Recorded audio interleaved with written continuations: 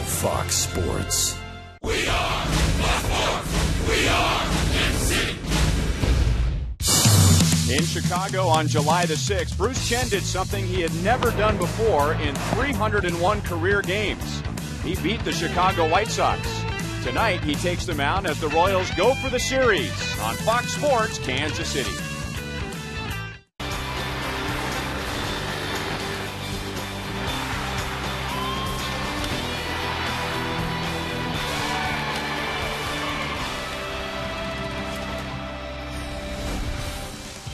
The trading season has begun, and the Royals have jumped into the game as Wilson Betemit has been traded to the Detroit Tigers. So the Royals will be a man short tonight as they try to take the series from the Chicago White Sox. Hi, everyone. Welcome back to the ballpark. I'm Ryan Lefebvre with Royals Hall of Famer Frank White. And Wilson Betemit was actually in the lineup tonight, and the trade was announced right before batting practice. So Mike Moustakas is back in there. And on the topic of Moustakas, Frank, things are not working for him right now at the plate, but that doesn't mean he's not helping the team win games. And that's really the focus that Mike has right now. When the bat's not there, you look at the game in two phases. One is offense, and then one is defense. You can't let one affect the other. And I think when you watch the way he's been playing defense, he's still focused in that area.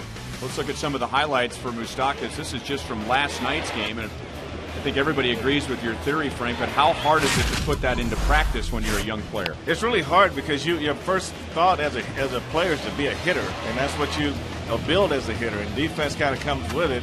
So you want to do the offensive part first and bring the defense with you second. But right now, that's an adjustment period he's going through, and he just got to battle through it. A tough night for him at the plate, but he started this game-ending double play with the tying run at the plate in the ninth inning, and the Royals 4 to 2 win.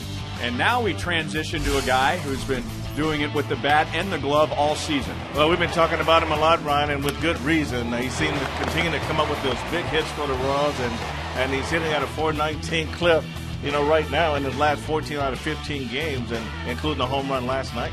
And when we're talking about Melky Cabrera contributing, usually it has to do with more than one hit. He is second in the American League with 39 multi hit games. He'll be defending behind Bruce Chen, who beat the White Sox two starts ago. And a big key for him was getting Paul Konerko in two key situations. See if he can do that again tonight. We'll talk more about Bruce when we come back.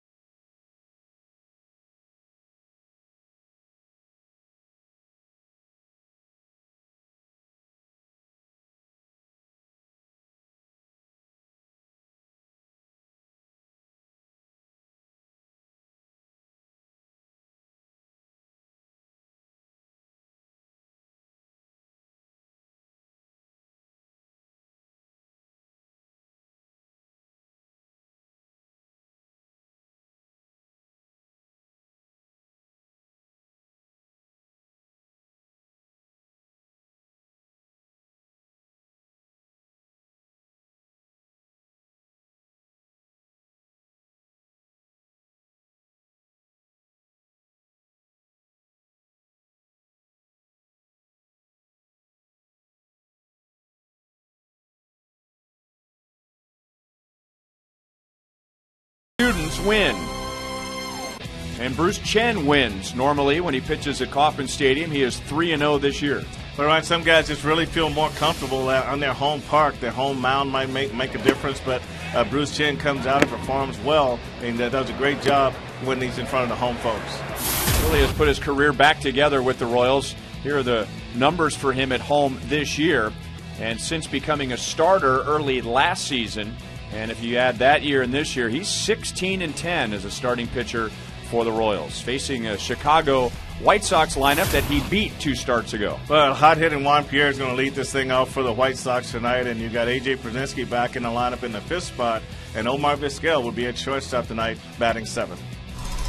And Ram Trucks will show us the Royals defensively. Well, the defense always seems to look the same when you look at the outfield and the middle of the infield, but you got Mike Moustakas is back in the lineup after the trade of Wilson Betemit, and Brayan Pena will be catching Bruce Chen tonight in place of Matt Treanor. Bruce Chen, a contact pitcher, and he's throwing to a contact catcher. If the White Sox want to get to home plate tonight against Chen and the Royals, they're going to have to go through Brayan Pena. Literally. Game three is next.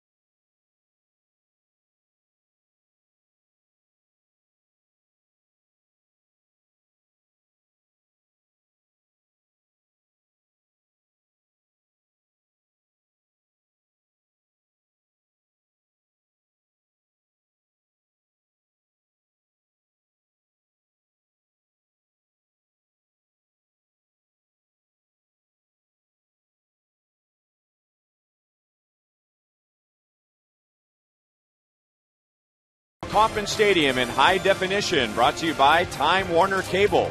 Get no fee HD with digital TV from Time Warner Cable. Out to left field, and here's Joel Goldberg. Ryan, thanks. Alex Gordon out here warming up, and the next inning we'll see him lead off for the second straight day. The Royals have said they don't really feel like they have a true leadoff man on their roster, and their production shows 233 batting average for leadoff men, 303 on base percentage. But Alex in the leadoff this year, 290 batting average, 365 on base.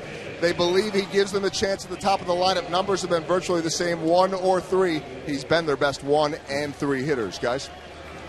All right, thanks, Joel. And now he's a couple of games removed from fouling that ball off of his right foot.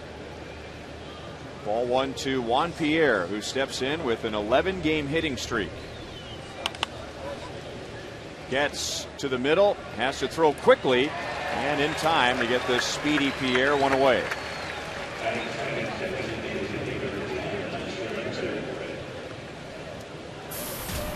96 degrees with the heat index. It feels like 101 degrees. We started right on time at 7:10, and the time and temp is brought to you by the parking spot. Easy to spot, easy to park. The parking spot at KCI. So 95, 96, and 96 at first pitch in this Royal series with the White Sox. And because of the heat, it's a good time for Ozzie Guillen to start giving some of his guys a game off. And in the case of shortstop Alexei Ramirez, getting half the game off as he serves as the DH. He is down 0 2. Well, that's one of the things that managers have to do in this heat is just try to figure out, really in pregame, how long to leave your players on the field in batting practice, those type things, and then when you get down to who's playing the most games and how to best give those players a rest. But in some cases, how do how do I keep guys bats in the lineup that are swinging good, but they're playing every day? And, and the DH spot a lot of times is is where they look first. One ball, two strikes. Seems like somewhat of a relatively new concept. Did you have days when you would DH? No. yeah. But nowadays, that's what managers will do. They'll just kind of pick somebody, and it doesn't have to be a slugging type of a guy. Bruce Chen on a 1 2 pitch drills Alexei Ramirez. Didn't hardly ever see guys like a shortstop serving as the DH, but that's kind of the way the game goes these days. Here are the numbers for Bruce Chen in the Kia report, and there really is not one number that jumps out at you, with the exception of the important numbers, wins and losses. And Bruce, five and three this year. He is 17 and 10 as a Royal the last two years. Two starts ago, he beat the White Sox on July the 6th. And Bruce giving up just one run in six innings.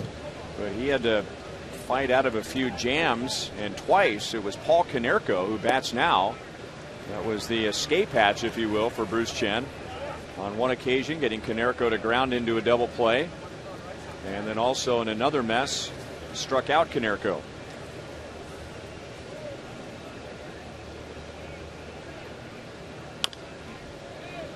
And now down, no balls and two strikes.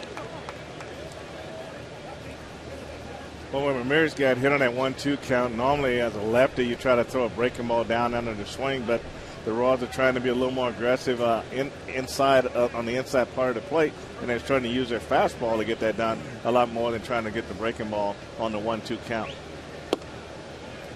Slide step, and it's one and two on Konerko. And you see last night, uh, Danny Duffy hit Juan Pierre with, on someone. There was two strikes on him, and here Bruce Chen also. So that gives you an indication that they haven't been pitching inside enough that they know exactly where that window is and where they can do it successfully. But the effort that they're making, I think, will pay off down the road. Mm-hmm. Danny Duffy hitting a batter, walking a batter, both coming around to score in the first inning, and then that was it for the White Sox. Six scoreless after that. Danny Duffy winning his first career game at Kauffman Stadium.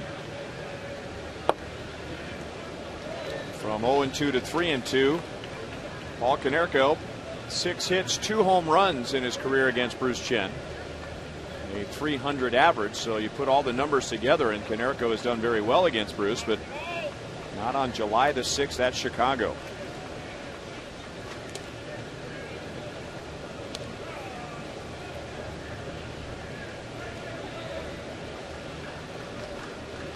Paul Konerko with just one RBI in the first two games and 128 in his career. There's a strikeout, there's a throwout, and that adds up to a double play.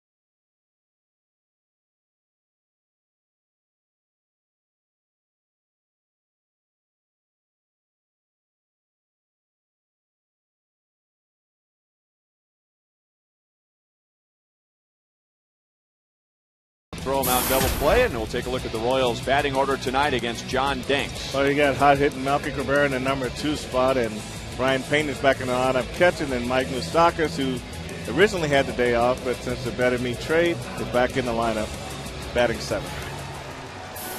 And John Danks, a 15 game winner last year. This year, he is 3 and 8. And got off to a horrible start.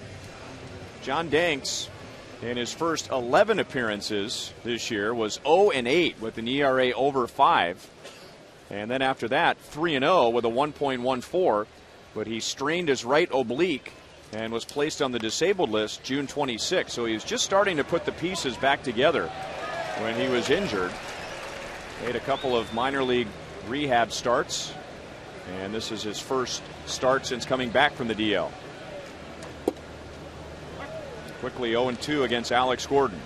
Uh, Danks has got real good stuff. I mean, it, uh, he, he did suffer from lack of run support a little bit early when he's going through those eight losses, but he's got a fastball, slider, curveball, cutter. He's got the basic pitches. His changeup's a pretty good pitch for him. And talking to Alex Gordon about John Danks, that was the pitch that Alex brought up. He's got a good changeup. Danks gets him with a fastball, a borderline call by Jerry Meals. One away in the bottom of the first.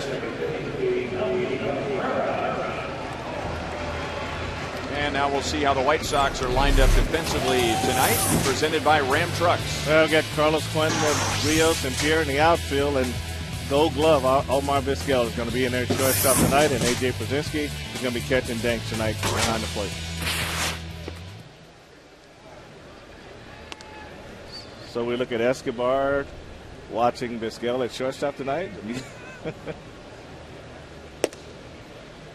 and I would think every game that Alcides Escobar plays, he would like to reach second base at some point, but no more than tonight. Three balls and no strikes to Melky. Three hits in this series. He homered in last night's game, his 12th of the year. 120 hits for Melky Cabrera. Three balls and one strike.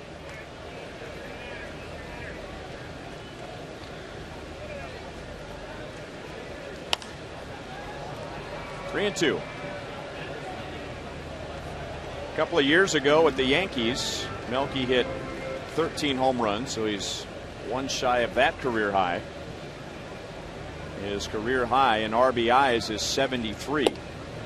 Good cut fastball, just boring in on his hands, and Danks comes back from 3 0 to strike out Cabrera.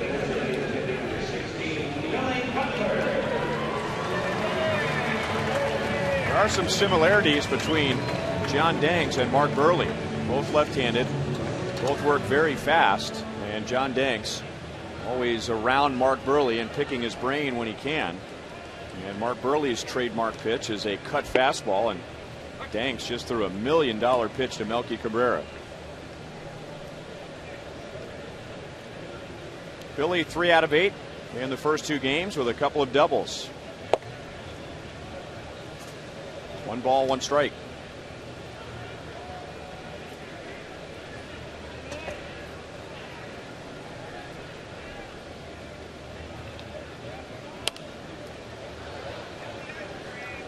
A difference between Danks and Mark Buehrle would be velocity, where Buehrle upper 80s, maybe to around 90, and Danks running it up there at 94 in the first inning. And Danks' cutter is probably going to have a little more velocity on it, too. And the key to the cutter is to get it around the hands. You don't want to get it down low. Still one ball, two strikes. First time the Royals have faced John Danks this year. Danks has never lost to the Royals. He's had quite a few no decisions. This is the ninth time he's faced KC. And he's only 2 0, which would tell you doesn't pitch deep into games. Two balls and two strikes against Billy. And he loves pitching here. At least the numbers would suggest that. There are the career numbers overall against the Royals. At Kauffman Stadium, a 1.87 ERA. That's the best for him in any American League ballpark. And he shows why in the first inning, striking out the side.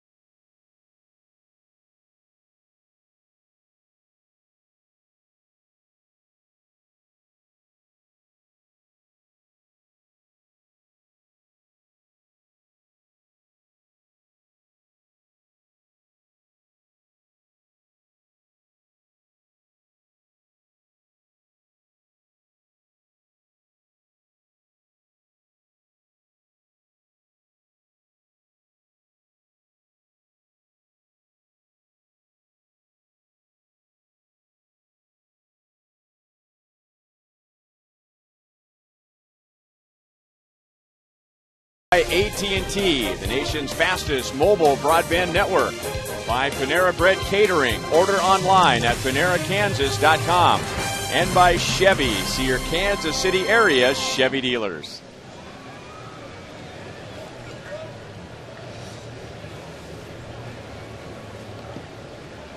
No score to the second inning. Both pitchers only facing three in the first. Bruce Chen got a strikeout, throw him out double play to end the top of the first, and then John Dank struck out the side in the bottom of the first. Carlos Quentin, two hits, one RBI in the first two games. Eight hits in his last 20 at bats. And hit by a pitch. He did everything humanly possible to get out of the way. Well, everything humanly possible to get hit. That's the 20th time, by the way, Quentin's been hit, and it leads the major leagues. I Yeah. mean, look at how he just flies to get out of the way. Oh, wait a minute. That's unbelievable. I mean, it, it, I'll take it. And he doesn't even wear the arm guards or anything like that. That makes it even more impressive. Look at that. I mean, that's not even close. Now, A.J. Pierzynski hits into a lot of double plays. That's the 17th for him this season. So, for the second time in two innings, a double play has erased a hit batter. Royals have a day off tomorrow. Then on Friday, the Rays are in town, and it's a fireworks Friday and Buck Night. Game starts at 7:10, and you can purchase hot dogs, small Pepsi products, and peanuts for just a buck each. And be sure to stay after the game for a great fireworks show presented by Hy-Vee and Pepsi.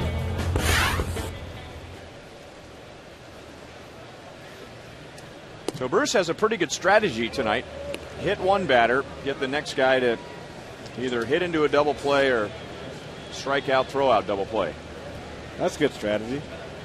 You just don't want to do it a lot. Especially when that lead up guy's on base and there are no outs. Alex Rios, two out of eight with an RBI. Into left field, got it down around the end of the bat. And because of the double play, Bruce Chen needs only six pitches to get through the second inning.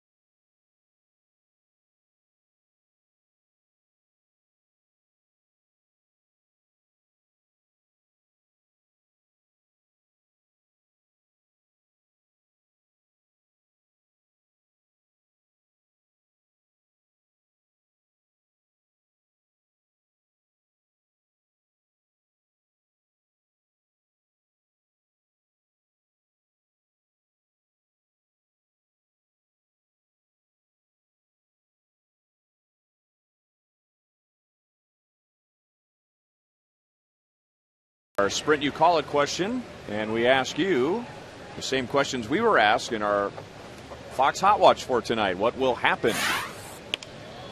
Jeff Francoeur will swing at the first pitch to begin the bottom of the second inning, and Alex Rios gliding over to make the catch, one away. So, choice A.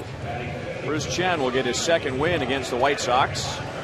Chris Getz will bunt for a base hit. More than one Royal will steal a base. And Joakim Soria, who is moving up on a milestone, will get save number 150 tonight. What did you pick, Frank? I went with A. Likewise, I was a Bruce Chen guy.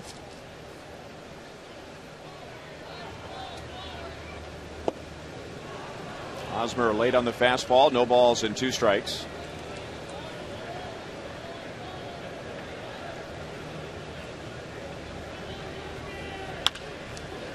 Up the middle and into center field. So Hosmer with the count 0 2 gets the Royals' first hit against John Danks.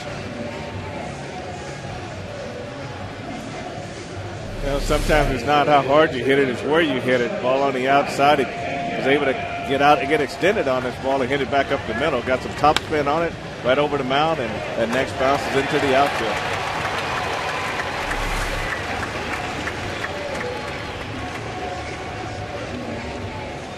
Be a bad guy for Eric Hosmer to hang around. Yeah, that's for sure.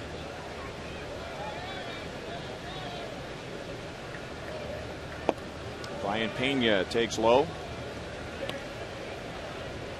0 for 4 on Monday. Matt Treanor started behind the plate last night, and Treanor ended up with the game winning RBI. The White Sox intentionally walked Eric Hosmer, hoping for a double play from Matt Treanor with the bases loaded one out, and Treanor delivered a two run single. Look out, Doug Sisson.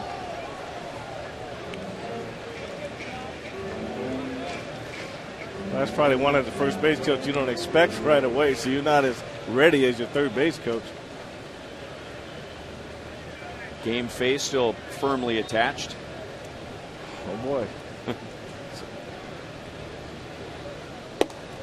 One and two on Pena. Do I remember you getting hit once here at Kauffman Stadium? No, almost. I almost got hit. Okay.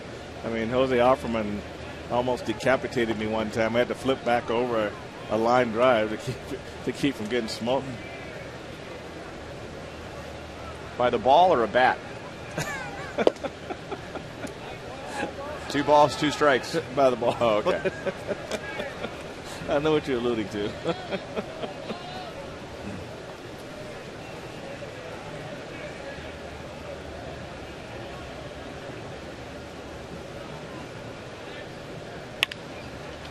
Chop to Vizquel.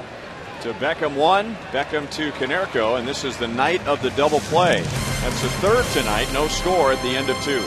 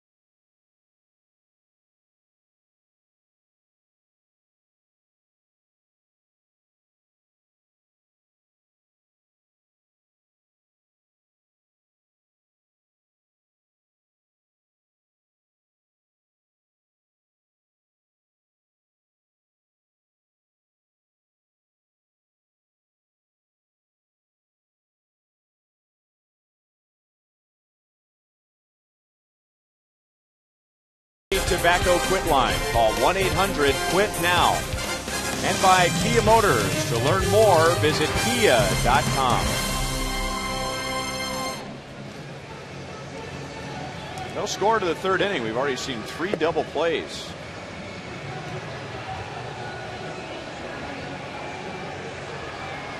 Bruce Chen, with one out in the first inning, hit Alexei Ramirez. And then with Paul Konerko at the plate, a strike him out, throw him out, double play. In the second inning, Bruce Chen hit Carlos Quentin, and then A.J. Pierzynski grounded into a double play. So heads up, Omar.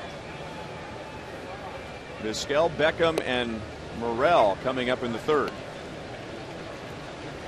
Well, in Vizquel's younger days, this when he was real dangerous. I mean, he could bunt from both sides of the plate. He had good speed.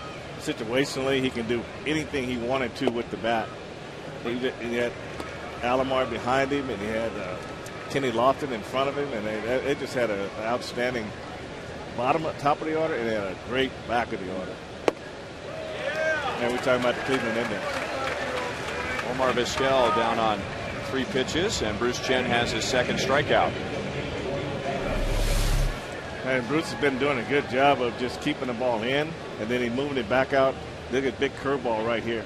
I mean, just, an outstanding pitch, and then you get him thinking inside, and then you go in the outside corner. And he flips a curve in for a strike to Gordon Beckham. The thing about the fastball on the outside corner, the fact that it didn't move. It is a four seamer. You're trying to just throw it on the corner, and it doesn't run off the corner, and now you can get more strike calls with that pitch. Beckham has a career high 10 game hitting streak. One hit on Monday, one hit last night. Thought about chasing a changeup, and he went around. Mark Ripperger makes the call with some attitude down at first base. That's to let you know he's paying attention. Yeah. I mean, that was a did he swing? Yes, he did. And you want to go outside and talk about it? You remember umpire Ken Kaiser? Yeah. He'd have his hand in his, in his belt, and a, a pitch like that right there, he'll just just flip his hand up in there like that real quick, real short arm. What does that mean? Body don't move. I, I saw him a couple times on balls down the line. Rather than pointing fair, he just take his foot and stick it out. Longtime Royals television director John Dennison could do a wonderful impersonation of Ken Kaiser. In fact, he would he would do it so well that when you would see Ken Kaiser during the game, you would think that wasn't Ken Kaiser out there.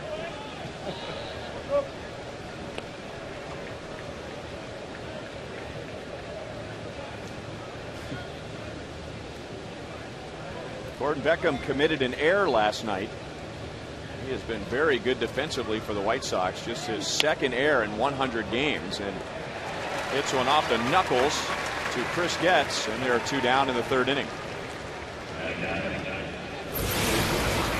We remind you to look for the Miller Lite Taste Greatness moment later in tonight's game. And as we told you at the beginning of the broadcast, Bruce Chen in his first 301 career games as both a starter and a reliever had never beaten the Chicago White Sox. And then beat him on July the 6th, giving up just one run in six innings, and he's off to a good start tonight. One and one on Brent Morel.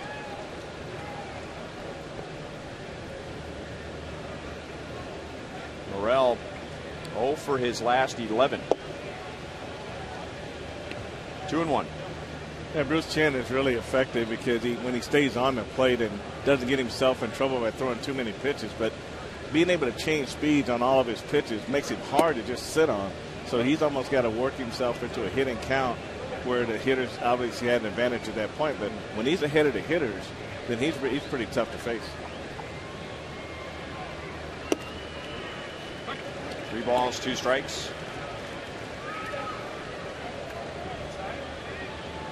When Bruce beat the White Sox on July the 6th, he started the game with three perfect innings. He's not perfect through the first three tonight, but same result. No runs for Chicago through three.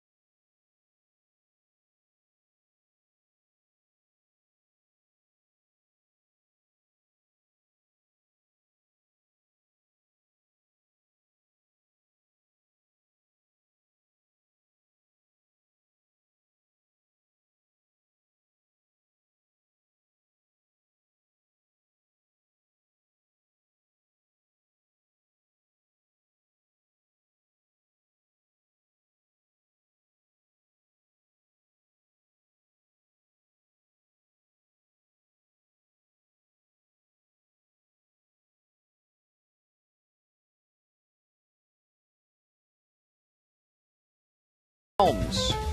They created Cupcakes for Kiddos, a nonprofit organization that raises money for women and children in need. Over one weekend in May, they baked more than 600 cupcakes from scratch, raising $1,100. And tonight, they're in the Buck O'Neill Legacy seat. Mike Moustakas out on a pop up to Omar Vizquel. So Moustakas 0 for his last 18. As we talked about at the top of the broadcast, Frank, still making contributions with the glove. And really, when you think about it, the three youngest guys the Royals have, well, actually, the entire infield Mike Moustakas, Alcides Escobar, Chris Getz, Eric Hosmer, all young players. And you really can't ever point to one part during this season where their struggles at the plate have carried over onto the defensive side. And Eddie Rodriguez, the infield coach, that's one thing he would preach to his, his infielders all the time. And, and Doug Sisson will do the same thing to his outfielders. You separate the game, separate the offense from the defense. You can help your team on both sides. And I think that's where players have to buy into it because one, if one affects the other, you know where you find yourself. You're either going to be riding the pine or you won't be here. So you got to keep one phase always going for yourself.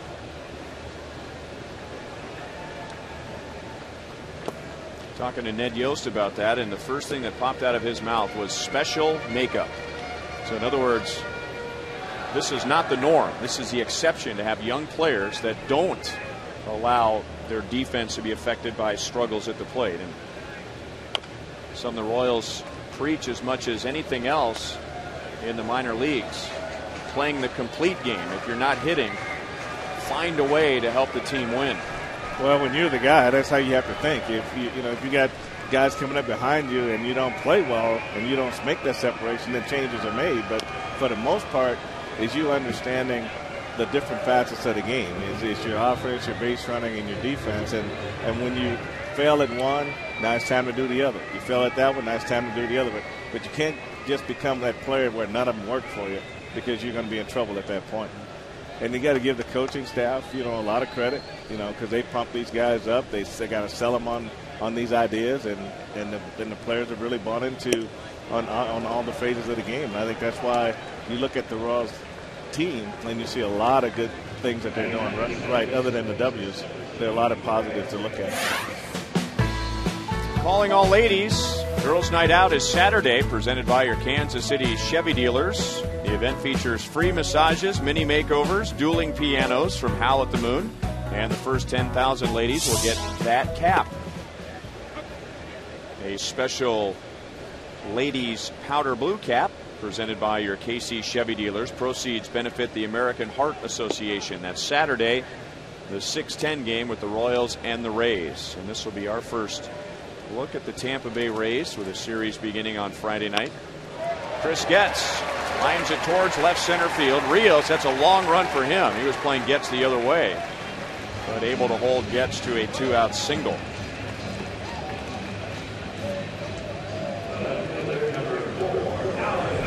Uh, Chris Getz not waiting around. He gets a fastball out over the plate and saves back through the middle with it. Line drive right, right, right inside shortstop. Omar Vizquel and Rios makes a good, did a good job keeping Chris Getz from taking a double on that play. Nine percent tonight in our sprint you call it question thought that Getz would bunt for a base hit because they knew he would swing for a base hit. Text 432 432, enter keyword Royals, followed by a space. Keep voting tonight. Alex Gordon, a strikeout victim in the first inning. Alex just one out of 14 altogether against John Danks. And asking Alex about Danks during batting practice, Alex brought up the changeup. And you don't normally hear about a left hand batter referring to a left hand pitcher throwing him a changeup, but Danks will throw it to lefties as much as he does righties. He really does, and that, and that's the that's the biggest change in pitching I've seen this year. Righties throwing changeups to right-handers, and and vice versa. It just gives them one more weapon. They just got to make sure that the pitch reacts the way they want it to react. And most lefties won't throw it to lefties and righties to righties because the changeup will tend to, from a lefty to a lefty, tail into the hitter, and the changeup you want to tail away from the hitter. That's true. Two and two on Alex. Well, you can see uh, he just doesn't want to challenge Alex inside at all right now. If he comes inside the fastball, it's not going to be way in where he can't swing, but he's definitely trying to get him to reach for something on the outer half. Broke his bat, and Vizquel is going to throw late.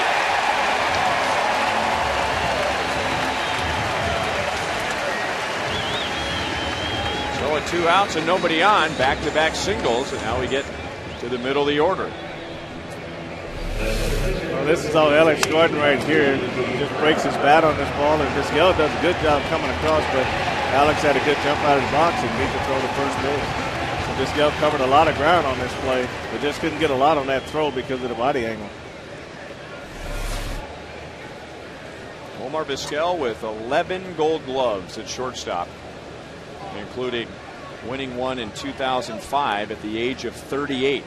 That's the oldest gold glove winner at shortstop, 38 years old. Now he's 44. The only shortstop with more gold gloves in Major League history is Ozzie Smith. He has 13. One ball, one strike on Melky Cabrera.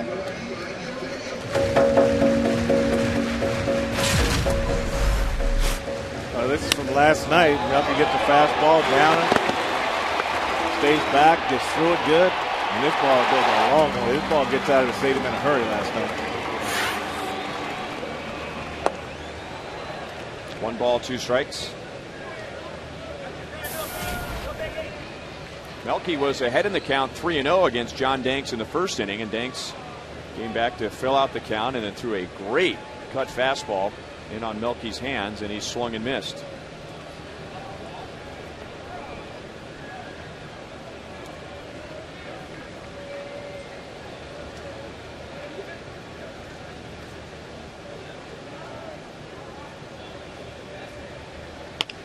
Got it in on the hands again, and Morel with a nice play at third base. And the Royals leave two in the bottom of the third inning, still no score.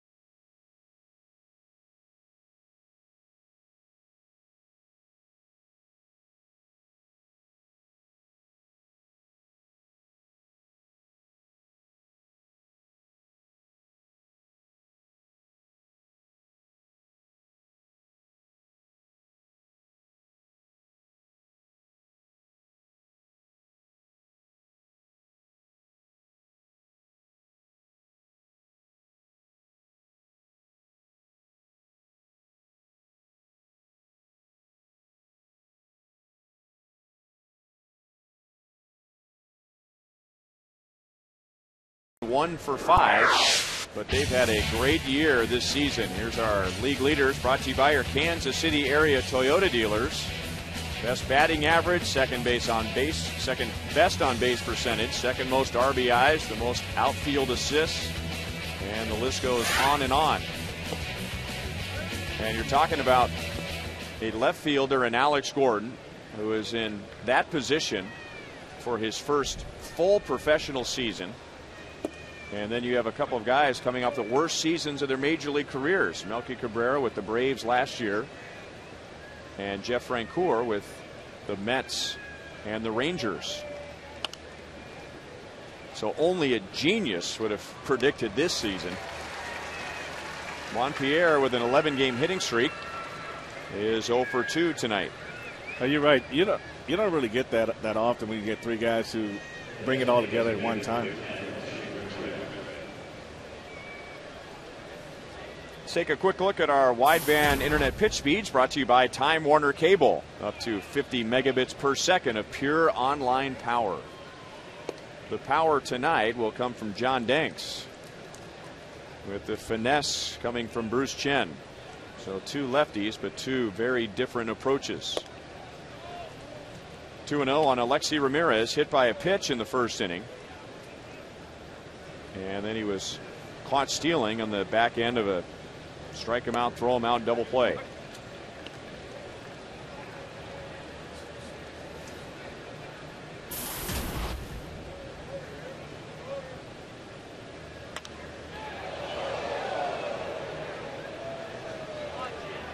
If you haven't heard already, the Royals have traded Wilson Betemit to the Detroit Tigers. Royals getting a minor league pitcher and catcher in return. And the Royals have recalled Mike Aviles from AAA Omaha. And Aviles expected to join the Royals at some point tonight. And Aviles really took off once he went back down to AAA. But the Royals went a long time without a true backup shortstop and second baseman, and they will have that now with Mike Aviles. Alcides Escobar has played in every single game the Royals have played this year. And I bring that up because Alexei Ramirez, who is the DH tonight for the White Sox, the White Sox have the luxury of they can run Omar Vizquel out there, and Ramirez can DH tonight. He's also had three other games off this year, not Escobar. Well, with that, with the weather heating up the way it is, and the off days getting fewer as they go forward, you're going to need that middle infielder you, because these guys going to have to get a, a, break every now and then. It's going to be a tough series for them. Earlier this year, 170 Royals fans in the 548th Transportation Company were deployed by the Missouri National Guard to Afghanistan. Coming up on August 6th, Fox Sports Kansas City and the Royals will broadcast This One's For You as we will link up with the 548th in Afghanistan. Another double play for the Royals. That's three for Bruce Chen in four innings.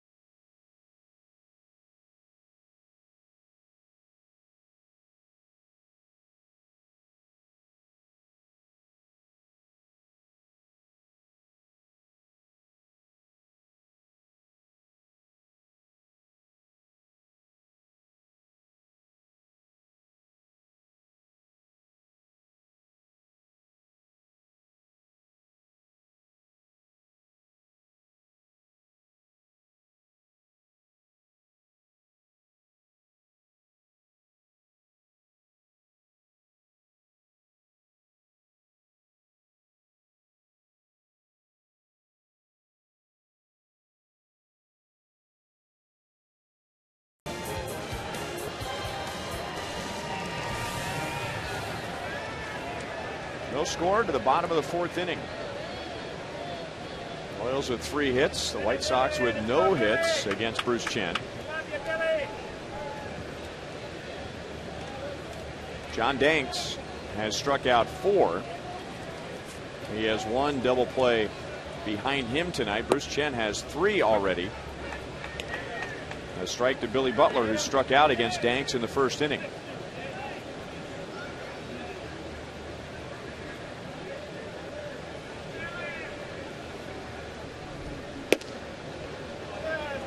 One ball, one strike.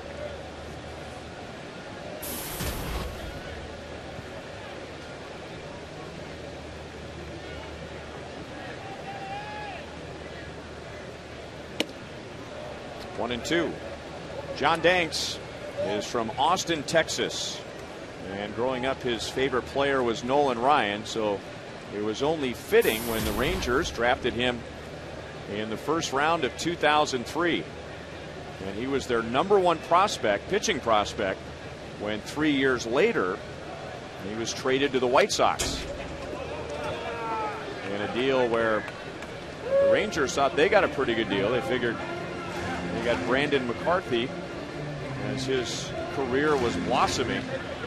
Good young right hand pitcher, good arm, but his arm fell apart in Texas. The middle. Beckham with a backhand. And there's one away in the fourth inning. The Royals in Fox Sports Kansas City present our second University Day. It's KU night coming up on Saturday.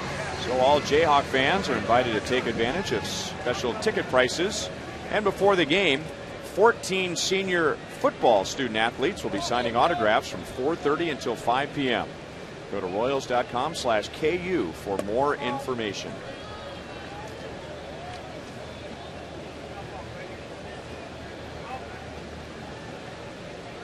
Wow.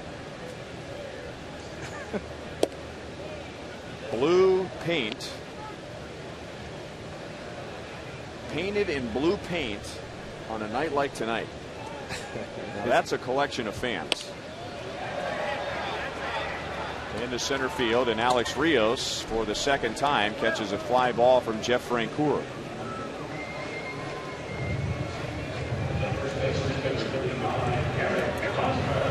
And now that fan club out in right field is more alert as Eric Hosmer comes to the plate. Chanting, let's go Hosmer. Well, that goes from being painted on paint to baked on paint, and this one, Man. it's going to be hard to get that off. No balls and two strikes, and Hosmer has Danks right where he wants him because with the count 0 2 in the second inning, Hosmer singled to center field.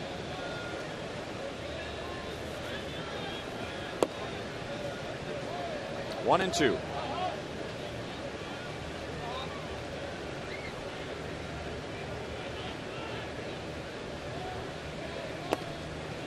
Two balls, two strikes. When he was with the Rangers, Danks was part of a youth movement known as DVD.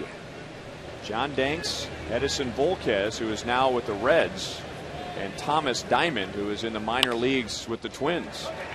Another base hit into center field with two strikes in the count, and Hosmer, thinking about two, takes a wide turn and holds with a two out single. Uh, Haas does a great job just staying right up the middle and not trying to pull off the ball and roll over and hit ground balls to second base. You can see right here, he just stays right with this pitch.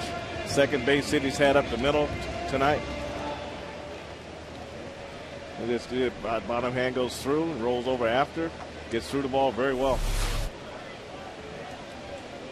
You know, for a guy his size, he really takes aggressive turns around first base. He goes until the outfielder secures the ball, and then he comes back to first base. So that's a, that's real good coaching by Doug Sisson. Stole a base in the game last night.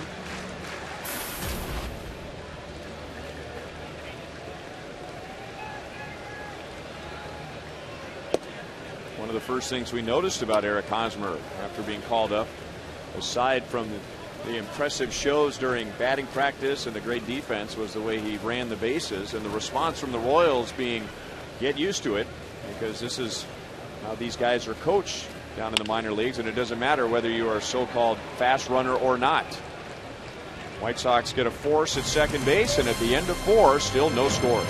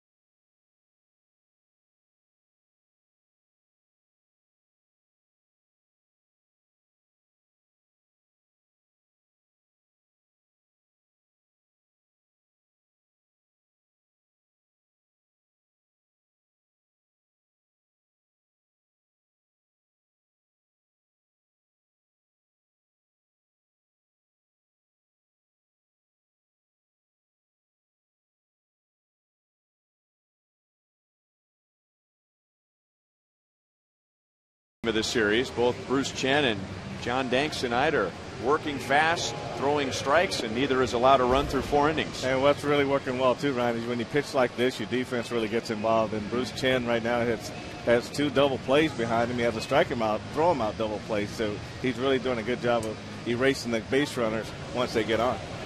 And John Danks has a double play behind him.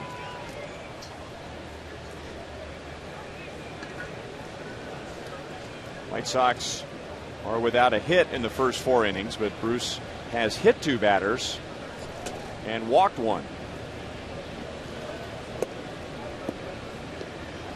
Ball one to Carlos Quentin. He was hit by a pitch leading off the second inning. Nothing new for him. The 20th time this year to lead the major leagues, eight more than anybody else in the American League. And now he hits it deep into the left field corner. And the White Sox get their first hit and their first run on one swing. Carlos Quentin with his 19th home run of the year.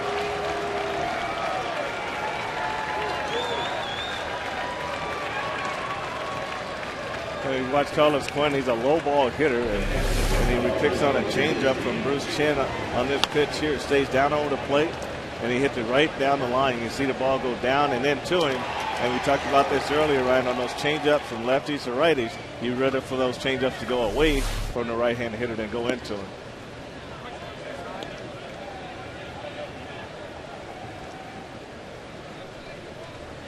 A.J. Pierzynski grounded into a double play in the second inning. The 17th time this year he's done that. Bruce drops down sidearm and jumps ahead 0 2.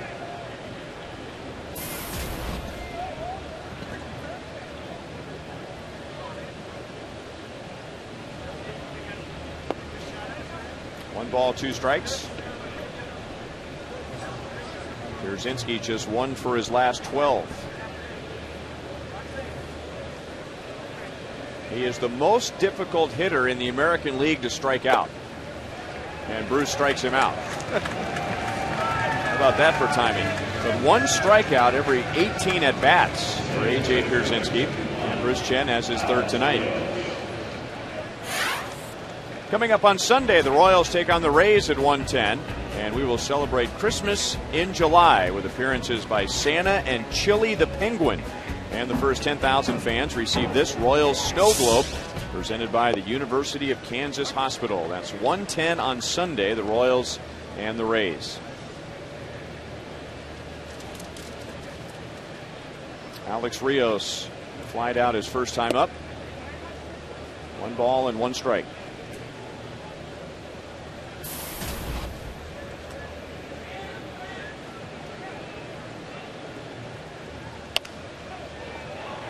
One and two.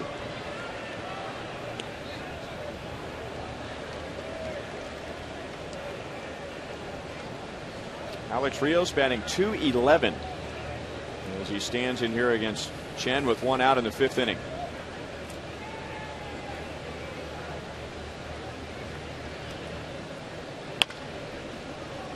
Picked off by Escobar. So after the home run, Chen comes back with a strikeout and a ground out, two down in the fifth inning.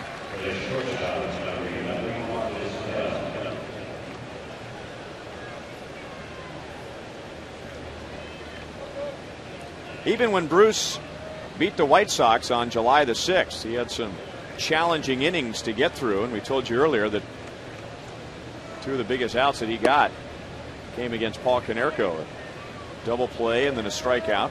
And Bruce really hasn't had to deal with much trouble tonight.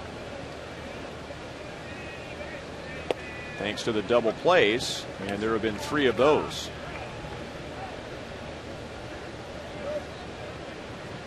when you know we face pitchers that are real fast, to fast workers, you don't see a lot of hitters stepping out to try to break their timing.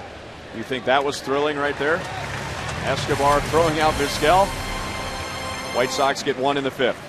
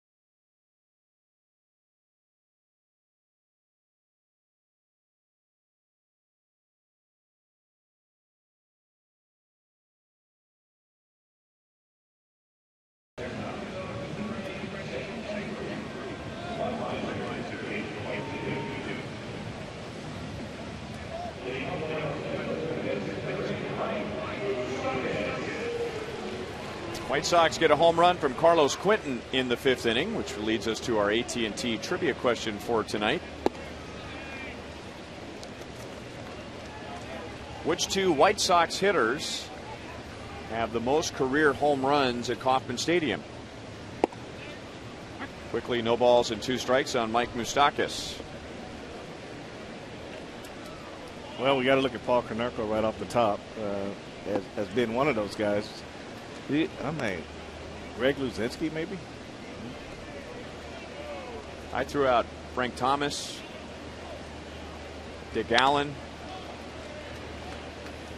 Moustakas out in a ground ball to second base. One down in the fifth inning. Moustakas 0 for 2 tonight against John Danks. so Kevin Shank telling us we'll never get it, so we'll just answer it right away. Paul Konerko, one of them. Jose Valentin. He's right. I never would have gotten that.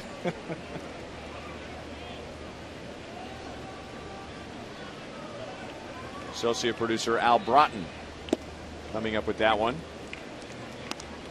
As he always does. And he wasn't a very big guy. No. When you think about a lot of the sluggers that the White Sox have had over the years, you wouldn't think him first. Escobar struck out in the third inning. And then for the final out of the top of the fifth, he handled a ground ball from his boyhood idol, Omar Vizquel, and threw him out.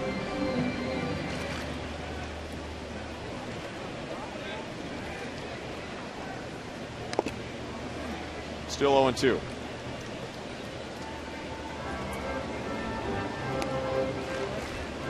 Let's go to Joel. Well, Ryan, you were talking about the Wilson Betemit trade earlier. I saw Wilson in the clubhouse before the trade went down, at least before he knew about it, at about 350. He was watching some video that he had had in the past of the bats against John Danks, getting ready to prepare for tonight. Within a half hour or so later, he was informed of that trade. He was in the traveling secretary's office. There was some management in the hallways. That's usually a pretty good sign this time of year that there's some movement going on. As for the players acquired, I talked to Dayton more about them, and they're young guys, so it's tough to project, but they got a catch and throw catcher. They got a young left handed arm in the deal. Also important, you mentioned it, Ryan. It gives them the chance to get Mike Aviles back. He's playing well. It gives them that flexibility in the field. And it also takes somebody off the 40 man roster, and there's certainly belief that they will be bringing more guys up, some of these younger guys in the future, and they'll need some of those 40 man roster spots, guys. Yeah, Ned Yost is pointing out you trade a guy who was on the roster for players that don't have to be placed on the roster. So it opens up a spot to put a younger player, a non roster player, onto the roster, and you don't have to lose somebody else in the process. Chris Getz single to center in the third inning. That makes him two out of two with a walk against his former teammate, John Danks. Still 0 2. I was talking to White Sox hitting coach uh, Greg Walker before the game about Chris Getz and asking what's the difference. And he said the big one of the biggest difference is he's bunting the ball now. He said I couldn't, I tried all, all I could to get him to bunt. He never would bunt, but now he's added that to his game and it's really helped him helped his overall batting average. And he's two for two tonight. That base hit coming on an 0-2 pitch. Third straight inning, the Royals have gotten a base hit after two outs and nobody on. That's a nice swing that Chris Getz puts on this ball. It's up in the zone and he just swings down through the ball, just hitting line drives, just hitting the ball where it's pitched. He's got a nice short swing, and just two line drives off his back line look really nice coming off. Alex Gordon has an infield single, and he is struck out. And Danks going with a slide step, and he misses high.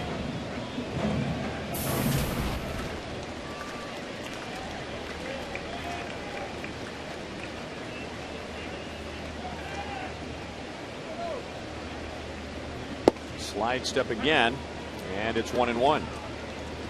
Well, it won't come into play in this inning, but you got a guy like John Danks and you got Bruce Chen throwing the way they're throwing. You get guys on first base. They're quick to the plate. Managers don't like to run, uh, put hit and runs on with a lefty on the mound.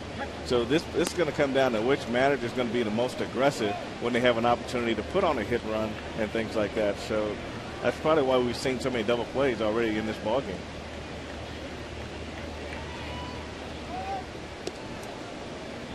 Taking a look at the pitch pattern from Danks to Alex Gordon in his last at bat, everything down and away. And trying to stay down and away this time around. That pitch stayed up and in, and Alex pulls it foul off the tarp. Well, that sounds a lot better off the bat too. More to what to his liking. You know, he tried to get him to reach his last time and got a broken bat out of it, but Alex was able to force the ball back through the middle.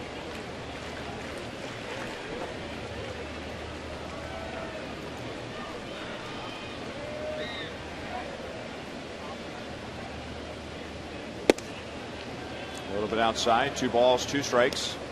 Getz has 17 stolen bases. He was caught stealing last night. That was by Tyler Flowers.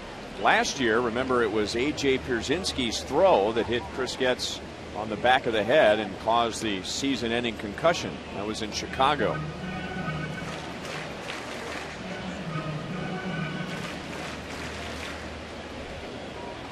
Pitcher like John Danks or Mark Buehrle, quick to the plate, manages the running game well, really helps out the catcher. And as that pitch comes in, Getz was taking a step back toward first base, and now it's three and two on Alex. Very aggressive with his fastball, over 80% tonight. Well, that's still the best out pitch in baseball if you put it where you want it. Getz runs with a full count and two away, and he'll be running again.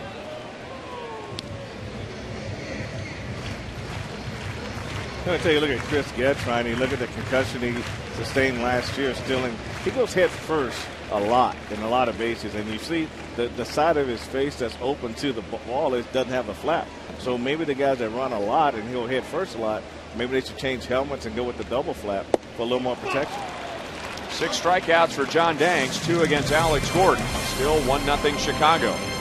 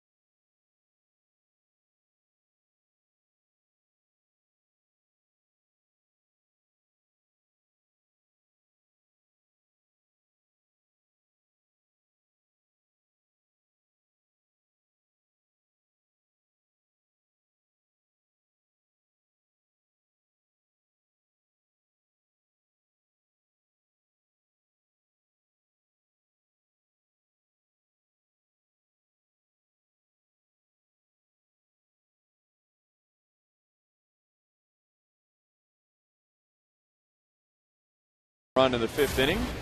We remind you that tonight's copyrighted telecast is presented by authority of the Kansas City Royals. It may not be reproduced or retransmitted in any form, and the accounts and descriptions of this game may not be disseminated without the express written consent of the Kansas City Royals Baseball Corporation.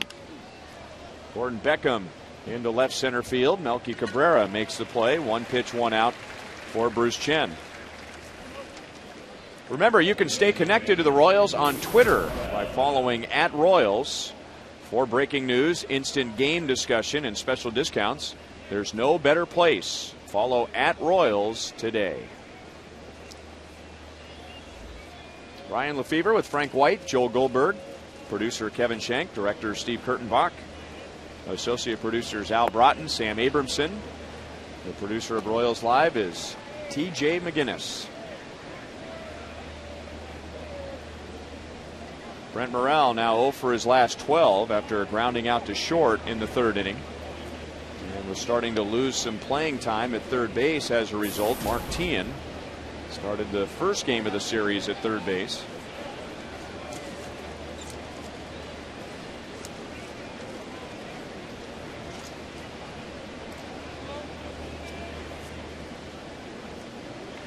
Teahen appeared as a pinch hitter last night after starting on Monday. We were just in Minnesota. Remember how we were talking about the difficulty Minnesota had had for several years trying to find the next third baseman after Corey Koskie as Morel ends the 0 for 12 with a one out single. Well, the White Sox still struggling to find somebody after Joe Crede. Uh, it's been a while. It's a tough position to fill because you're trying to get a guy at that corner that can not only play defense but hit for power and drive in runs, and that just finding that combination of players has been very difficult. White Sox thought they had that solution when they traded for Mark Teahen. They immediately gave him a three-year contract. Pierre lays down a bunt, and Brayan Pena called off Bruce Chen, and that was probably the right call, but Brayan wasn't able to grab it with his fingertips. And back-to-back singles for Chicago. Juan Pierre with that bunt single extends his hitting streak to 12 games. Hey, Ryan, it, was the right play to call him off. But see, the baseball's coming forward, and Brayan's got to outrun the ball, and he just wasn't able to get ahead of it and grab it, grab it properly enough to throw. And he's made that play before, but like I say, the fingertips made the difference there. Didn't quite get it in the palm of his hand.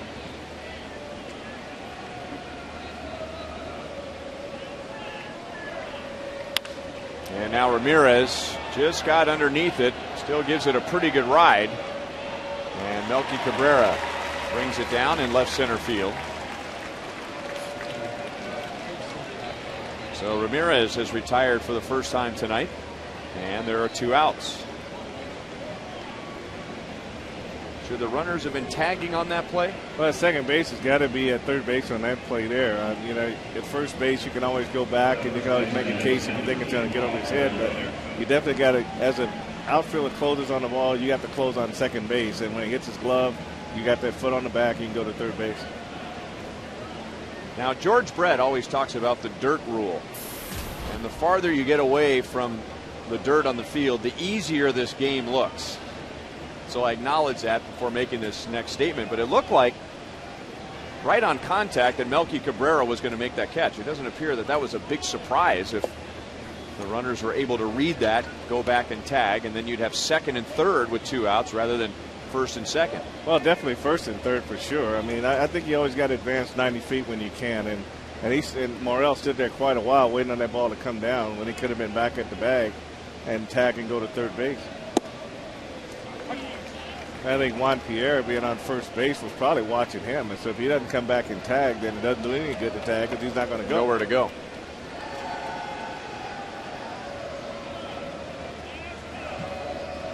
Paul Konerko has struck out and grounded into a double play against Bruce Chen. Does that sound familiar? There's a drive into the left field corner. Alex Gordon slides and makes a great catch.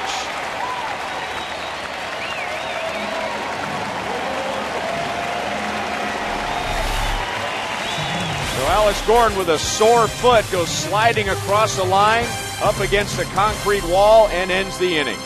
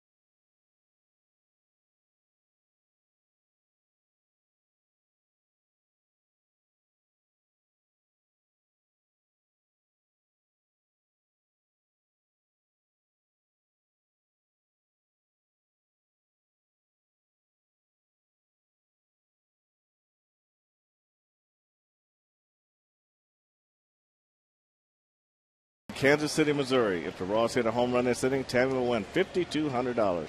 But if the Royals hit a grand slam out of the park, Tammy will win 25 grand from Sonic and the Kansas City Royals. Well, Tammy, you have Melky Cabrera, Billy Butler, Jeff Francoeur, and possibly Eric Hosmer against John Danks, who falls behind Melky 2 0.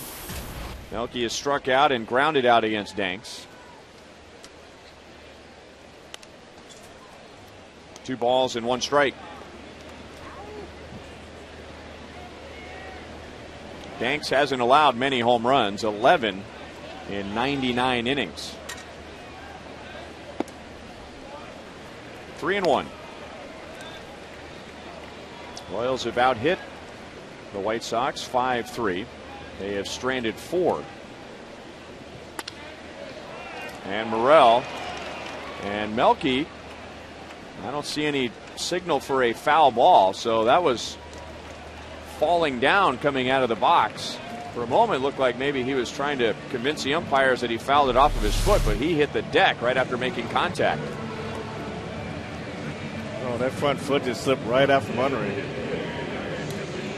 Well, you just fortunate you didn't hurt yourself in that one. I, I've seen guys do that and, and pull hamstrings. I tell you, the dangerous part about that play, Frank, had nothing to do with Cabrera or the White Sox, but Brent Morel at third base, he didn't know what to do, and he threw the ball over to first on one hop. He did not follow through with a strong throw. He almost threw that away. It's almost like he accepted the fact that he may have uh, fouled it off of his foot, and he just wanted to get it in that general direction. Now he finds out that it was a live play. He probably wishes he'd have went ahead and made a better throw.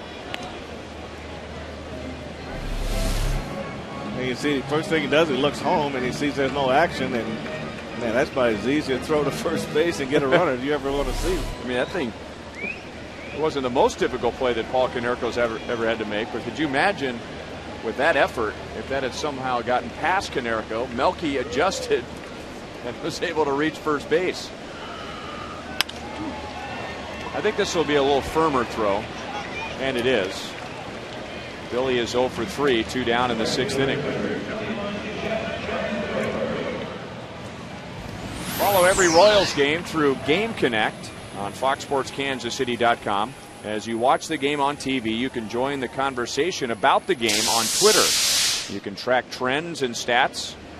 Game Connect. Find it at FoxSportsKansasCity.com.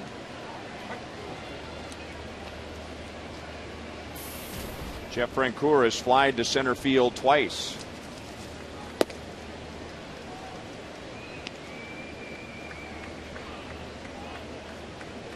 Francoeur facing John Danks for the first time tonight. Missed with a changeup, two balls and one strike. John Danks showing no ill effects of the strained oblique muscle that put him on the disabled list at the end of June. Really picked up where he left off. We showed you in the first inning that he was 0 8 in his first 11 starts this year. That was after winning 15. But in his four starts before going on the DL, a 1.14 ERA, and he almost had another easy inning, if not for Gordon Beckham making an error now in his second straight game. Well, you're right, Ryan. Your ground balls don't come any easier than that when you're playing the infield, and just just a calculated mistake on, on Gordon Beckham's part. And Franco did a good job getting getting to this ball, but he just just misjudged uh, the height of the ball and went right over his right over his glove, right between his legs.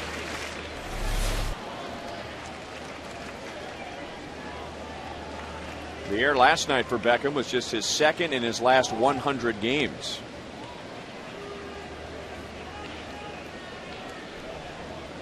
Eric Hosmer has singled to center field twice. Both times after falling behind in the count 0 and 2. One ball and no strikes.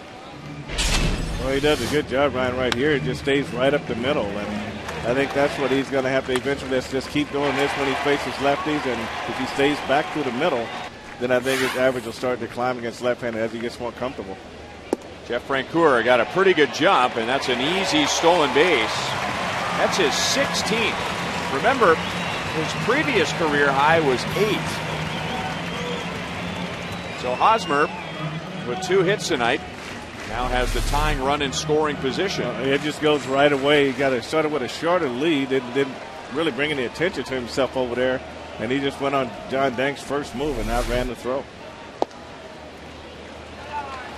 Two and one. For a while, after Mike Moustakas was called up, Ned Yost was resting both Moustakas and Hosmer against left-hand pitching. Betemit at third, Butler at first. And then the past couple games with a lefty out there, it was Betemit at third and Hosmer staying in the lineup.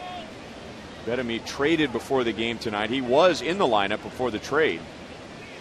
Hosmer batting just 169 against lefties when this game started, but getting a little bit better every game, and now two for two tonight.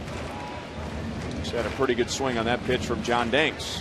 Yeah, the one thing about Eric, he doesn't look non-aggressive uh, whether he's facing lefties or righties. If he gets his pitch, he's gonna he's gonna be aggressive when he swings that. If he starts feeling for the ball, then you think you got some problems when he faces lefties. But he doesn't he doesn't really let up when he faces them. He's just gonna be aggressive with anybody that throws the ball over the plate.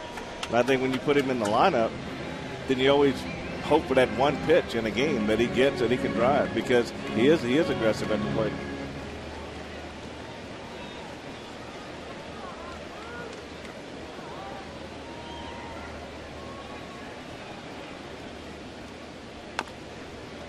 Still three balls, two strikes.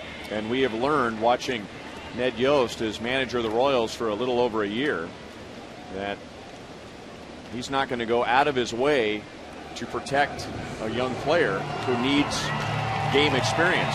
Doesn't mean he's going to put a player out there and put him in a spot where he's going to fail, but in Ned's opinion, the best learning tool is just to be out there and play and learn from experience. And I think he just sort of watches the player, watches the demeanor, watch how they go about the situation. When they do struggle, the body language is key to him, and usually it's the player that tells him when he needs to do something different. John Danks walks his first. So it's already an expensive error committed by Beckham because it puts John Danks over 100 with his overall pitch count. This inning should be over if Beckham handles the ground ball, but now Danks has had to throw eight more pitches, and the inning extends to Brayan Pena. Another game too, where the Sox haven't scored a bunch of runs for John Danks. He's he's working hard tonight. Now Brian fouls it off of his foot.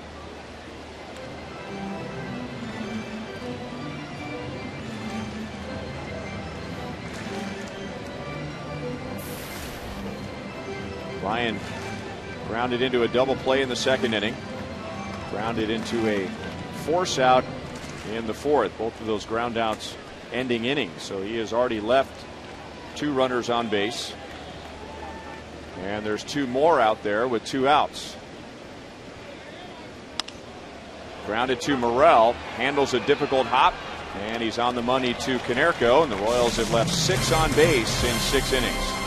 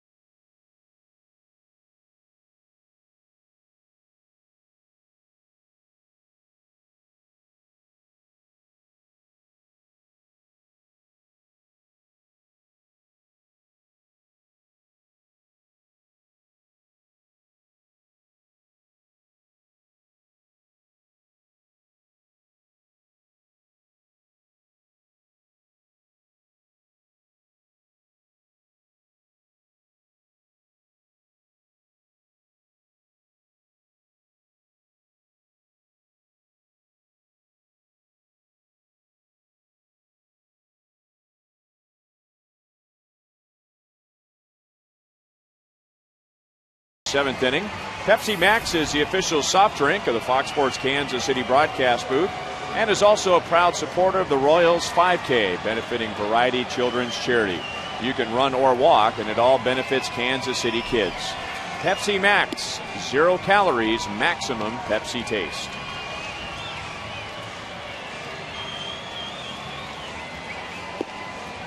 This is the eighth game between the Royals and the White Sox. The Royals have a 4 to 3 advantage so far, with every single game being decided by three runs or less. And it's been two good starts for Bruce Chen against Chicago. These numbers, plus his win on July the 6th, 12 innings and only two earned runs. He won the game on the sixth, four to one tonight. He is down one nothing, having given up a home run to Carlos Quentin leading off the fifth inning, and now Quentin leads off the seventh and takes a strike over the inside. Quentin hit by a pitch in the second inning. He'll be followed by A.J. Pierzynski and Alex Rios.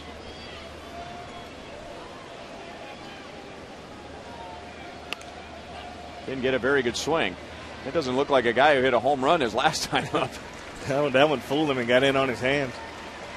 So a good adjustment by Bruce Chen, one away.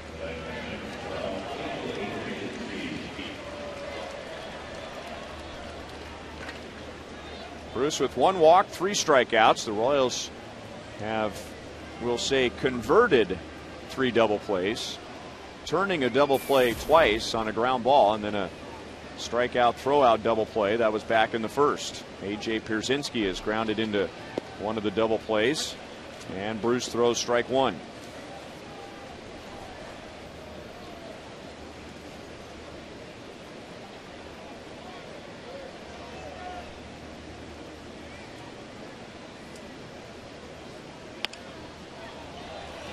Oh and 2.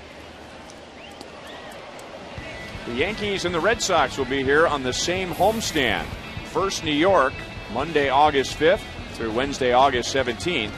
And then the Red Sox are here Thursday, August 18th through Sunday, August 21st. That's a four game series, and you can get your tickets now at Royals.com or by calling 1 800 6 Royals. Top two teams in the American League East. One and two on A.J. Pierzynski, who is working on his 10th consecutive season of catching at least 1,000 innings. Well, that's, that's, that's just great. you don't see that very often at all out of catchers. He's a very durable guy. And the most difficult guy to strike out in the league has been punched out twice tonight by Bruce Chen. I mean, he just sort of waves at this pitch. He's, he's thinking one thing, and Bruce does a great job hitting the glove of Brayan Pena. Just on the extension side, little cutter. And he's just way out front.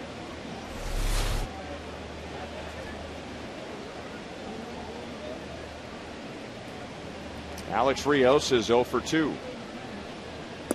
By the way, that note about Pierzynski, if he accomplishes that, it will be the longest streak of any current catchers. Jason Kendall had the longest. He had gone 12 straight seasons with at least 1,000 innings, but he will not catch one inning this year. Bruce Chen with a three up, three down, seventh inning.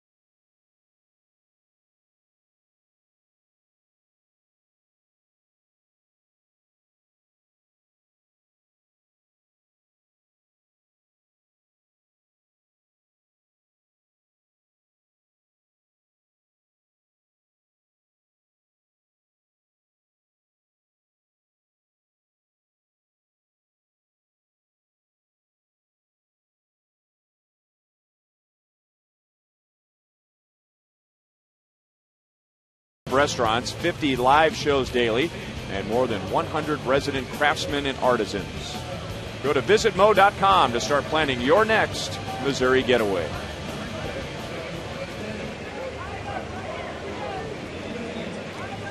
One nothing. White Sox leading Bruce Chen and the Royals, but after his seven innings tonight, Frank will call Bruce our Miller Lite taste greatness moment. And it is a good moment for Bruce. Uh, after that last start, Ryan, he really made a lot of good adjustments tonight. You know, use his curveball, his changeup, hit both sides of the plate. When he got men on base, he induced double plays and, and pitched himself out of some trouble. I guess I'd say potential trouble because he hasn't really been in any real trouble to this point.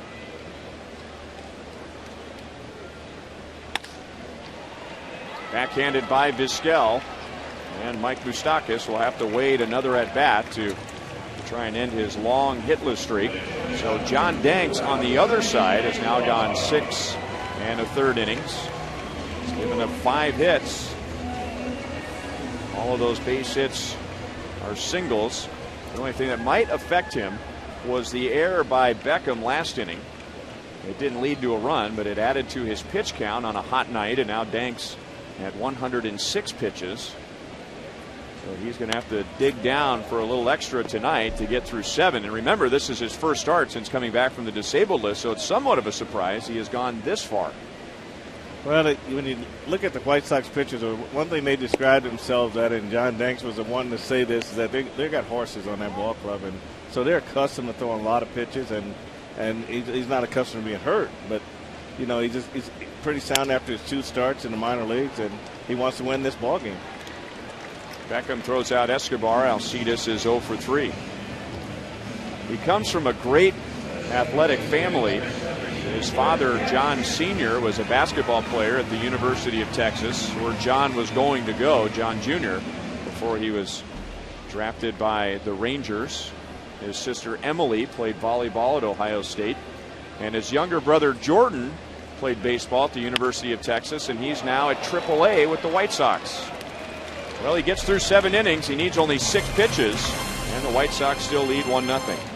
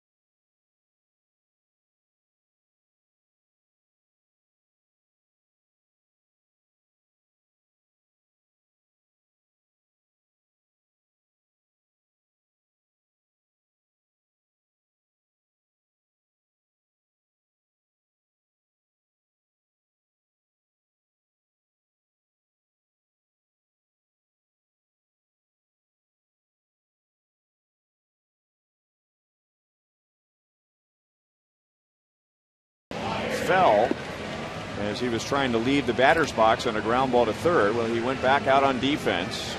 In fact, he went back out on defense for a couple of innings, but now as we go to the eighth, it's Mitch Maier taking over in center field. Let's take a look at the American League scoreboard presented by Panera Bread, and it's Boston leading the East. They beat Baltimore.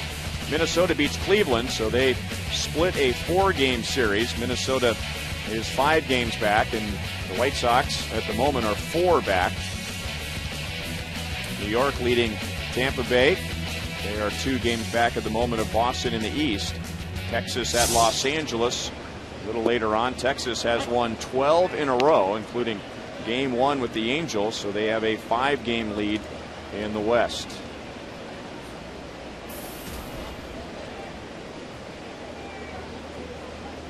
Surprisingly, when Omar Vizquel struck out in the third inning against Bruce Chen, that was his first ever at bat against Bruce. Those two combined have 37 years in the big leagues, and you'd figure they would face each other once. But nope, that was the first time. Vizquel 0 for 2 in his first two at bats, and now singles leading off the eighth. Well, you think as much as Bruce has been around, the, the different teams he's played for, he would have faced him somewhere along the way.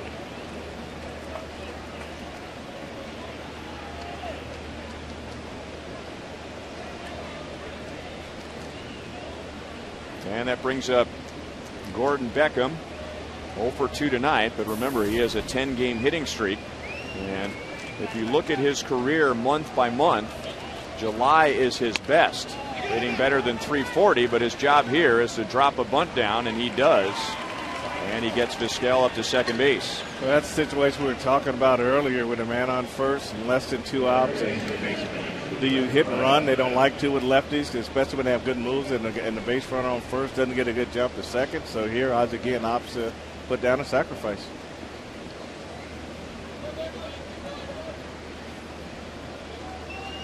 Alcides Escobar gets to have a word with Vizquel and got a smile at him, which isn't that difficult. No, it's not. A lot of conversations not difficult either. Yeah. He loves talking the game. And Brent Morel, just like Carlos Quentin, did everything he could to get out of the way and just simply couldn't. So you can't fault a guy for trying. I mean, this this could this effort could be a lot lot better. I mean, it's it's, it's coming inside, but I mean, he moved nothing at all. I mean, he just he just took it on the legs and, and walked on down to first base.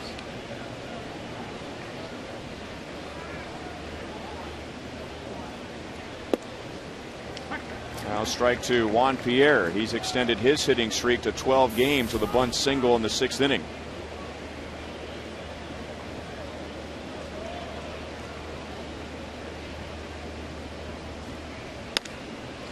Now a soft liner caught by Hosmer. Double play. And for the Royals, their fourth tonight behind Bruce Chen.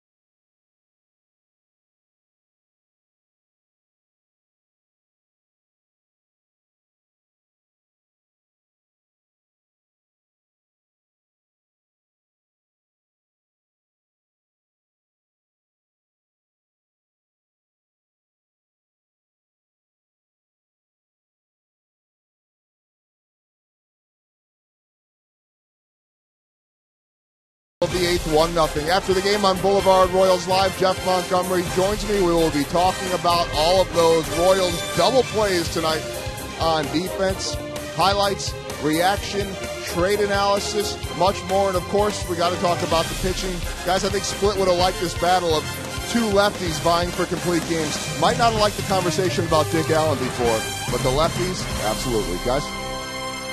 And I don't think Split would have minded the strategy of hitting a batter as to not pile up your pitch count only to get a double play against the next batter. Uh, if you know you can get the ground ball, get it. Chevy called to the bullpen, so one of the lefties will not pitch a complete game, but John Danks gave the White Sox seven scoreless innings. He threw 110 pitches, so that's more about his pitch count. And Matt Thornton with left hand batters coming up Alex Gordon and then Mitch Maier. He will take over. Alex one for three against Danks. with an infield single and a couple of strikeouts. And he takes down and in ball one. Matt Thornton was part of a very odd ninth inning on Monday, if you were with us. White Sox had a three run lead, so it was a save situation. Two balls and no strikes. Thornton came on. He retired Eric Hosmer and Brayan Pena. Two outs, nobody on, three run game. He's one out away from a save. And Ozzie Guillen then brought in Sergio Santos. So as it turned out, there was no save because when you come into the game in the middle of an inning, the tying run has to be on deck. So he took a save away from Thornton, and the save just kind of disappeared in a mist. Three balls and one strike on Alex. Hit hard and deep into the corner and foul.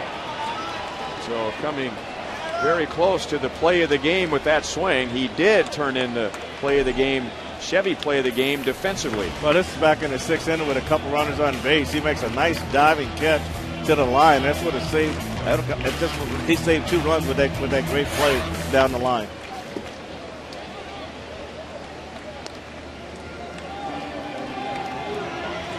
We saw David DeJesus in left field, and we thought he was very good at going to the line and making plays. But I have to say that Alex Gordon uh, is about as quick as I've seen making plays on the on the left field foul line. And a base hit into right field.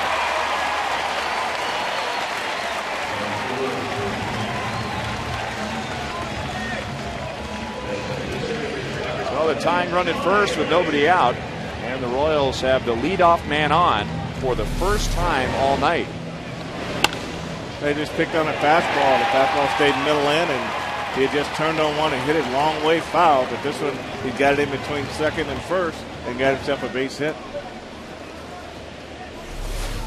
Now we'll see if Mitch Maier is going to bunt, and he answers that question quickly. Squaring around before Thornton went into his motion. Mitch one out of five against Matt Thornton with a walk. He does not have a sacrifice bunt yet this year. Well, you just got to go ahead and just stay in there. He tried to run a little bit too early on the bunt. Just stay there. That's why they call it sacrifice because you, you're definitely out. You tell yourself you're out. Stay there, get the ball down, and that's your primary objective on a sacrifice bunt. Not to be safe, but just get the ball down and get the runner advanced. Mitch has 13 career sacrifice bunts pops this one in the air, and it's an easy play for Thornton.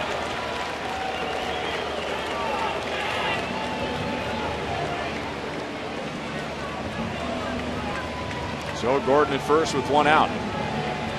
Players love to say these days there are no excuses. And at this level, there are no excuses. But if I'm a left hand batter, I'm thinking one of the last guys I'd want to have to bunt against would be Matt Thornton. Well, when they're throwing 96 miles an hour, you just got to stay above the ball. You don't want to get that bad hit below the ball. If you get stay above the ball, you got a chance to get that ground ball.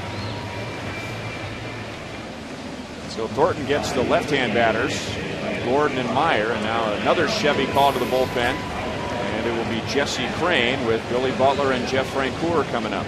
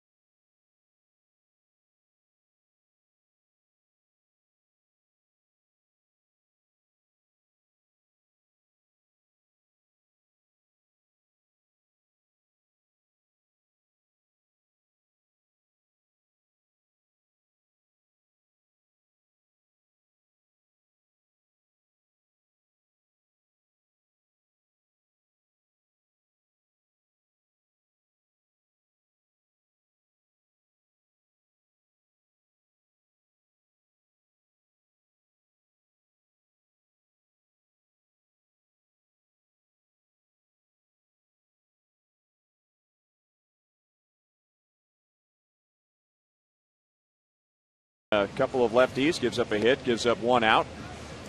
And before we move on, we remind you that the next time you want to catch a Royals game, head to StubHub, where you'll find the seats you want and the freedom to choose where you want to sit. StubHub is the official fan to fan ticket marketplace of the Kansas City Royals. And those two fans are enjoying the StubHub seats off the third base side, leather recliners, and they've got Fox Sports Kansas City right in front of them. They also have Jesse Crane in front of them, who inherits a runner at first with one out, the potential tying run. Crane on for the 43rd time. His first year with the White Sox after a long career with Minnesota. White Sox signed him to a three-year contract during the offseason. Crane faced Billy Butler in the game on Monday, which Chicago won 5-2, and he got Billy on a ground ball to second base.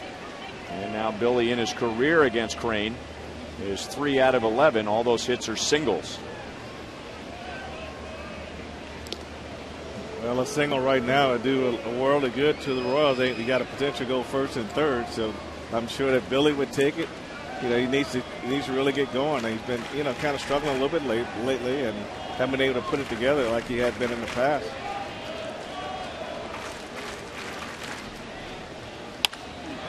Billy into center field. That's going to drop in front of Rios. There's your first and third. The throw is cut off. Runners at the corners with one out.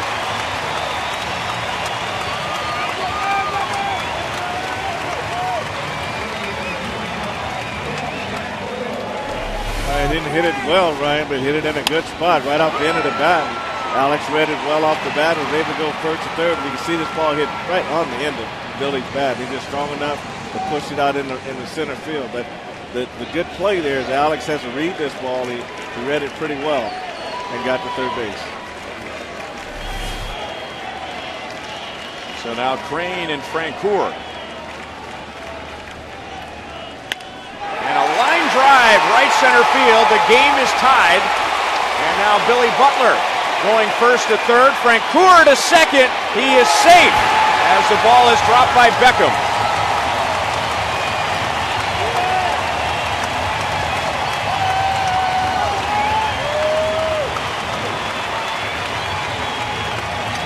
Another hustling double for Jeff Francoeur. Well, this pitch stayed up out over the plate, and Jeff Francoeur drove it into right center field, right? See Rios goes over, and Billy Butler's going to, as Alex scores, Billy's going to go first and third, but this throw should have went to second base and not to the cutoff guy. To go to second base and maybe a different play. And Francoeur just continues to run on the throw, and he hustles the second base. Well, for the second straight night,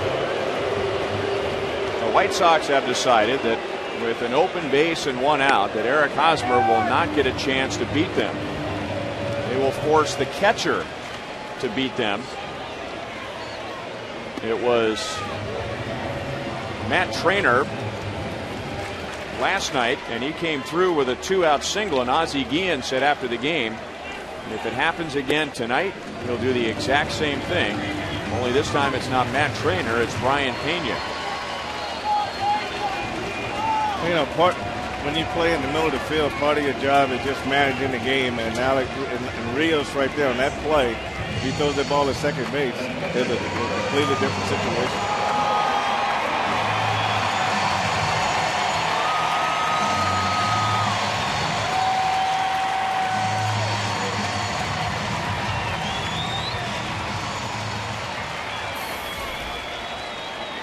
Brayan Pena 0 for 3 tonight and 0 for 3 in his career against Jesse Crane.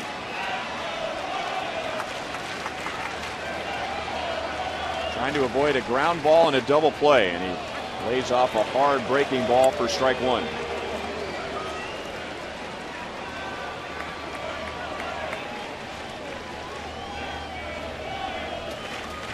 Yeah, Crane needs a ground ball right here, and the best pitch he's got for that is that split finger.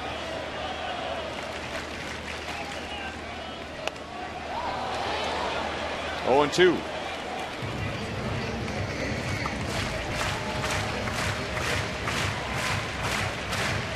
Alex Gordon with a single against Matt Thornton. Mitch Maier trying to bunt, popped it up for an out. And Billy Butler's base hit got Gordon to third. Jeff Francoeur's double got him home. And now an intentional walk to load the bases. He thought about it. One ball and two strikes. This means that John Danks, with seven scoreless innings tonight, could not win the game.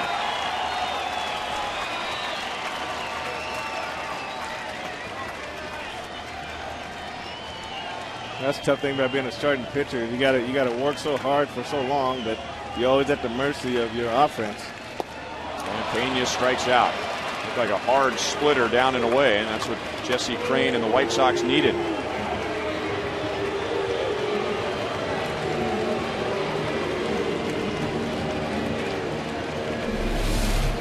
Uh, you're right, Ryan. It's a, good splitter. It goes out and just slides down and away from Brayan Pena's bat. Brayan's way out in front of it. And now, what a spot for Mike Moustakas, who is 0 for his last 20. He has a chance to put the Royals in front. He'll have to do it against lefty Chris Sale.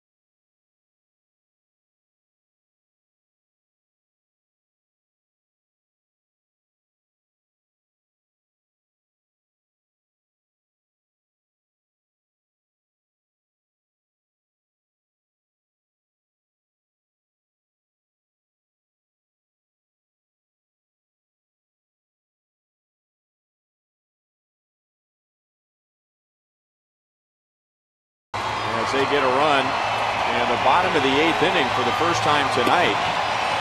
Jeff Francoeur's double tying the game, and now Chris Sale will pitch with the bases loaded two down and will face Mike Moustakas.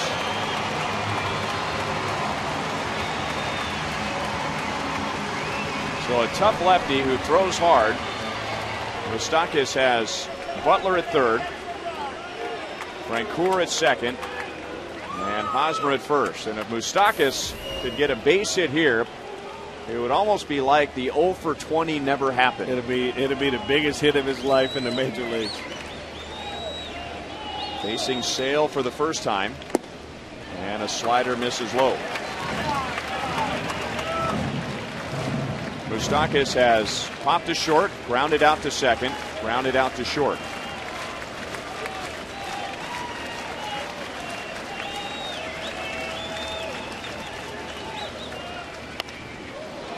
One and one. 97 miles an hour with that tough arm angle. Yeah, I think that ball hit Ozzie in the face, I believe. It came off the screen and hit him right above the eye. Well, he's already got a bump on his eye.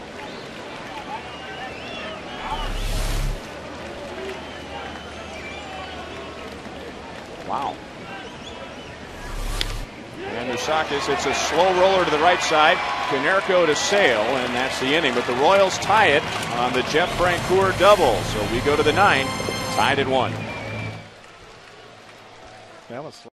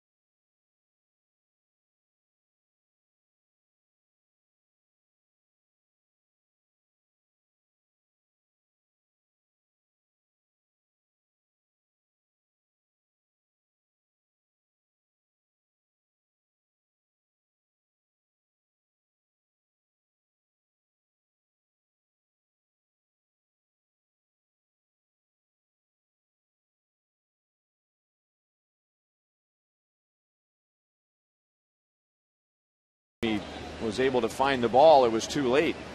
He's got a pretty good welt underneath his right eye.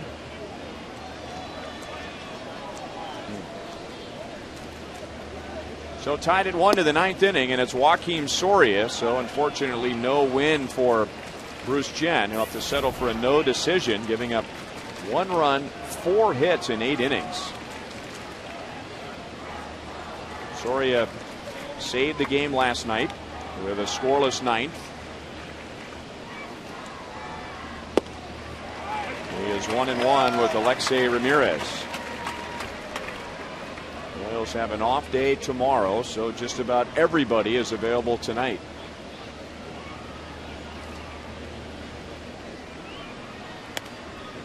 Jammed him. One ball, two strikes. Good pitch. That was actually off the plate. Yeah, to get in those hands, he did a good job. I think that's the way you pitch him. He's got such a long, loopy swing, and, and you almost got to force him to stay short with his swing. I think the best way to do it is is pitch, throw a few more pitches on the inner half of the plate. Don't let him get extended. Four pitches, down goes Ramirez. Good start for Soria. They just pound him inside, run, and he just go away with something up in his eyes, and and the swing is kind of long, so he can't really catch up with that fastball away from him like that. Ball just goes right by him.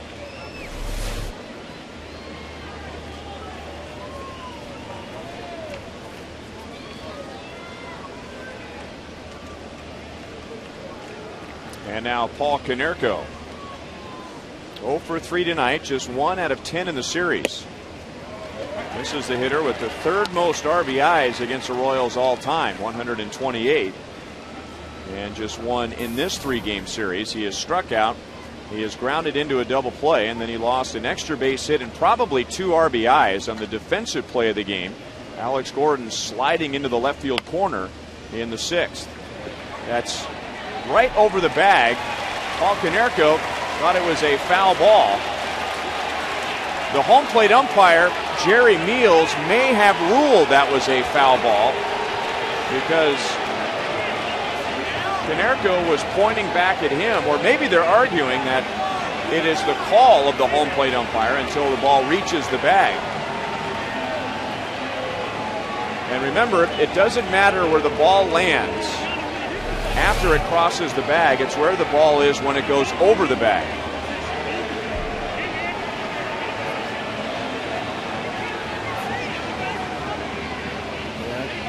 I guess that front corner is still a fair ball.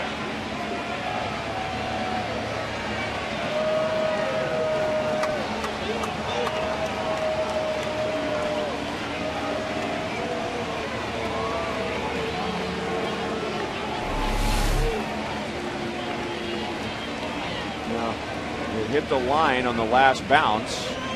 It lands in foul territory, but again, it's where the ball was when it crossed the bag.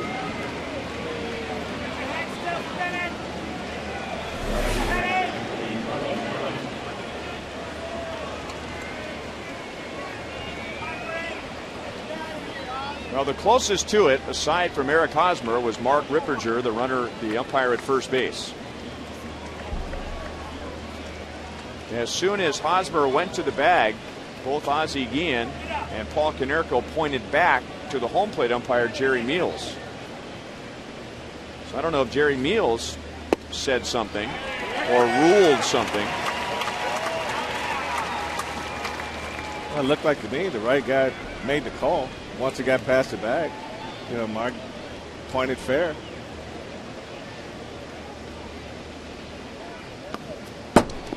One ball and one strike to Carlos Quentin, who's responsible for all of the White Sox offense with a home run leading off the fifth inning against Bruce Chen.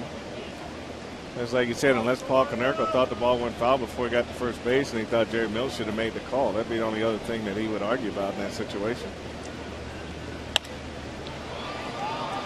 Ball and two strikes. So the White Sox getting their run in the fifth. The Royals didn't score until the eighth. With one out, Jeff Francoeur doubled in Alex Gordon. In the bottom of the ninth inning, the Royals have Escobar, Getz, and Gordon.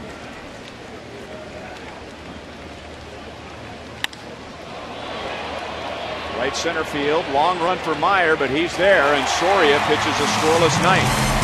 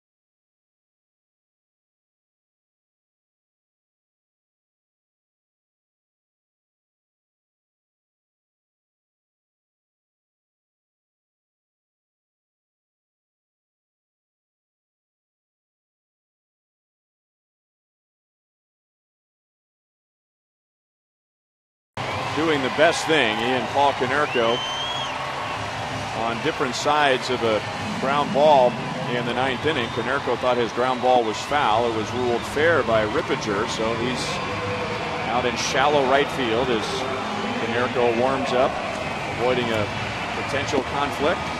And now moves into position as we're ready for the bottom of the ninth inning. Now Konerko is going to get a little closer to the first base umpire. Now they're having some words.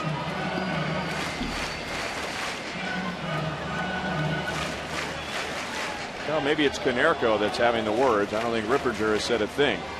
Which, which I think is, is the right thing to do. I mean, you're just trying to get the game going, and you don't want to get into an argument with a player on a call like that, when you, especially when you feel like you made the right call. Mm-hmm. So Chris Sale stays on for the ninth inning, and Alcides Escobar hits it to third, and Morel almost stumbled and on one pitch throws out Escobar, who is 0 for 4.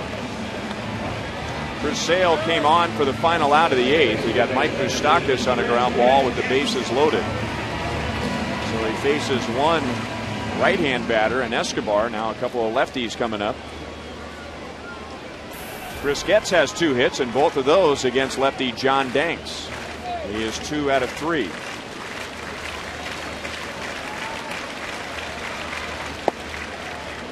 Over the outside, strike one.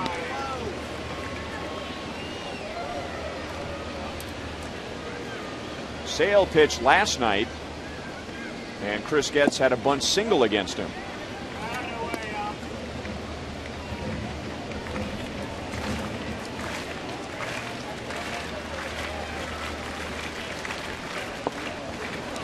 Two and one.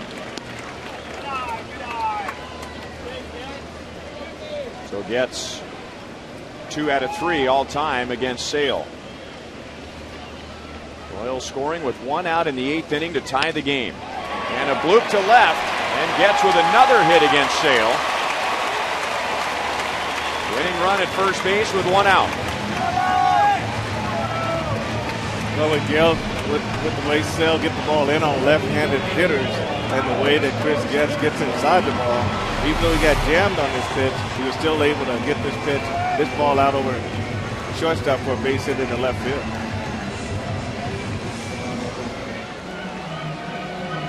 That's what's called a groove swing. He's, he's perfected that swing.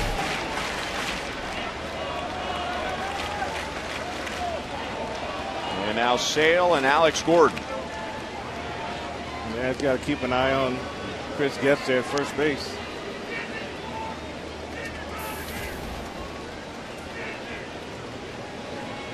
Two hits for Alex tonight. He had been four for his previous 22. And his single leading off the eighth inning. resulted in the tying run.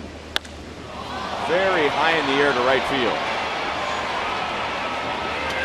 Getz going back to tag at first and just keeping an eye on Quentin and not in time at first base. The White Sox almost turned that into a double play.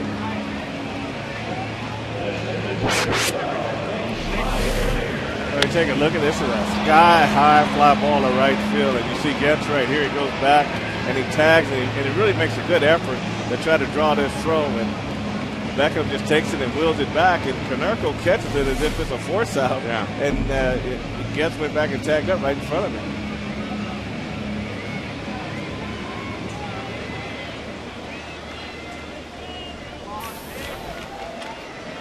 Mitch Maier and Chris Sale. Meyer tried to bunt first time up, but he popped it in the air. Caught by the pitcher, Matt Thornton. No balls and one strike.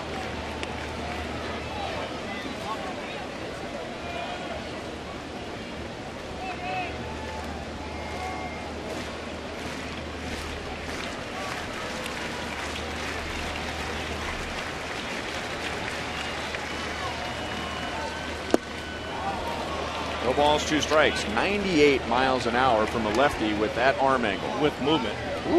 But you know, really though, in this situation here, you know, with two outs, you know, Chris Getz can guess and try to steal a base right here to really Roy's still going to hit again.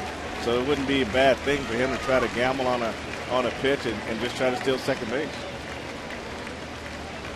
Last night, it was the seventh inning when Chris Sale took over. Chris Getz opened the inning with a bunt single, and then he was caught stealing.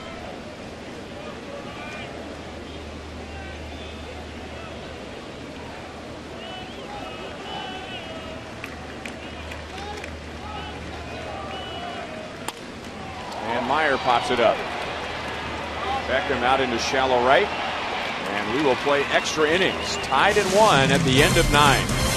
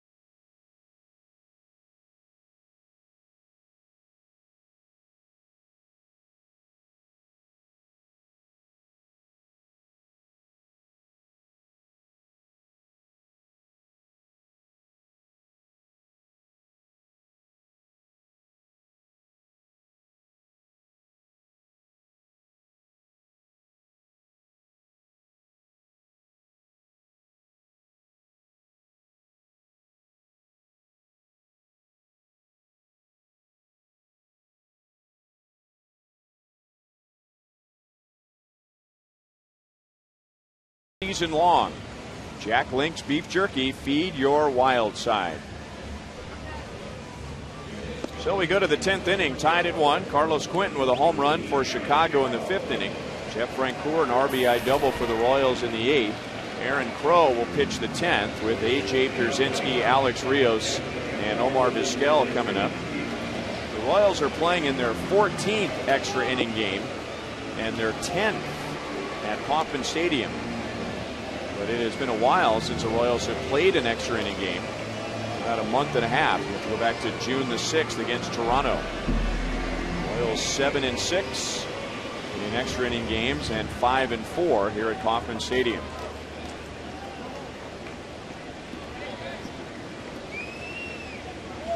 A.J. Pierzynski facing Aaron Crow, and that will take us back to the 4th of July in Chicago. And remember, A.J. Pierzynski as a pinch hitter reached in the ninth inning.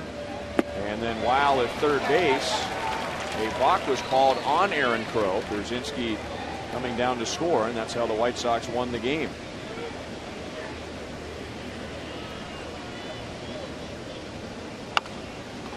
Over the mound and Getz with a bare hand play to get Pierzynski. A risky play, but it works. You're right, that is risky. Anytime you get a ball bouncing that high off the ground and you go barehanded, you got to be very lucky to be able to make this play. And with Pierzynski's speed, you know, backhand play would have been a lot simpler, but it, it, didn't quite get it cleanly either. But you can see it rolled up his arm a little bit, but yeah, what's that leather for, you know? I mean, that, it turns out to be a great play by Getz, but, but it's a play that if you don't make it with your glove and the ball goes for a base hit or whatever they might rule it, then you have to second guess yourself by not using your glove on that play. So it's Alex Rios with one out and nobody on. And that's grounded up the middle for a one out single.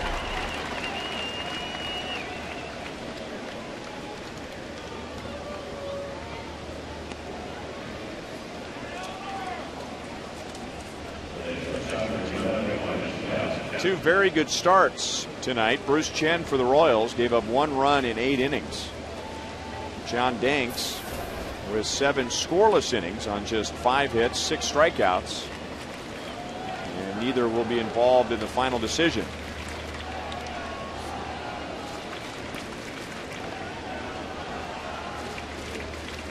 Omar Vizquel singled in the eighth inning. He is one for three.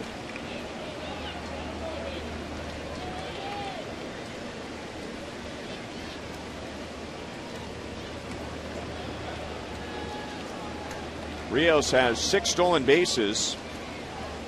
He also has been thrown out five times, so not a very good success rate. He had 34 stolen bases for the White Sox last year. Inside ball one. Well, it's amazing when your offense goes down. It seems like it affects all the phases of your game, and, and he's a perfect example of that. So you had 34 stolen bases from Rios last year. He has six. You had 68 stolen bases from Juan Pierre last year. He has 15. Rios is running.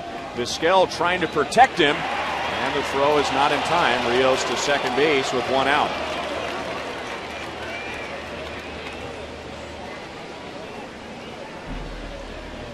That's one of the things as a hitter when you see a, a, a base runner get a good jump and on a still attempt and you don't anticipate hitting the ball, you want to do something to hold that catcher back. But and that's what Vizquel did and allowed Rios a better opportunity to steal that base.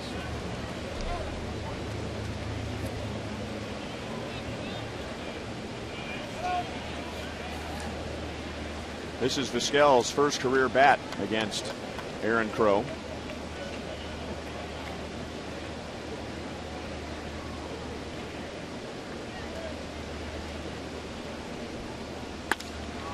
And he lines it towards left center field, but Mitch Maier is there for the second out.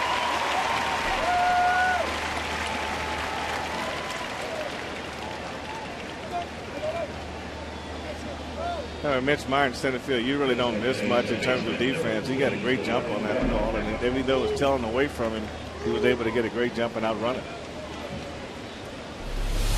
And see where he's playing just to the just to the right of second base, and and to see how much ground he covers. A lot of ground there as he came running in from center field. A very good job of coming in and backing up a potential bad throw. He's got to get that right. So his ball passes the hitter, just break straight in. Here's what we wanted to show you. Ground coverage right here. Beckham chops it to third, and Moustakas in time, and the White Sox are scoreless in the 10th. It'll be Butler, Francoeur, and Hosmer when we come back.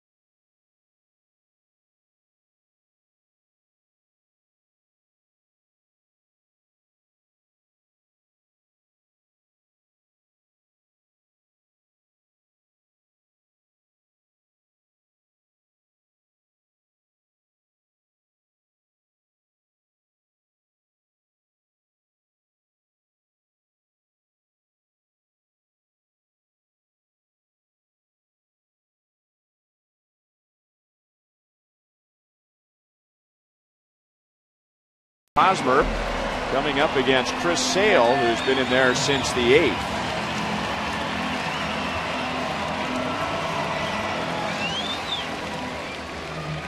Sale has faced five batters, and four of those hitting from the left side. Now he has Butler and Frank Francoeur, right hand hitters, coming up, and then Eric Hosmer.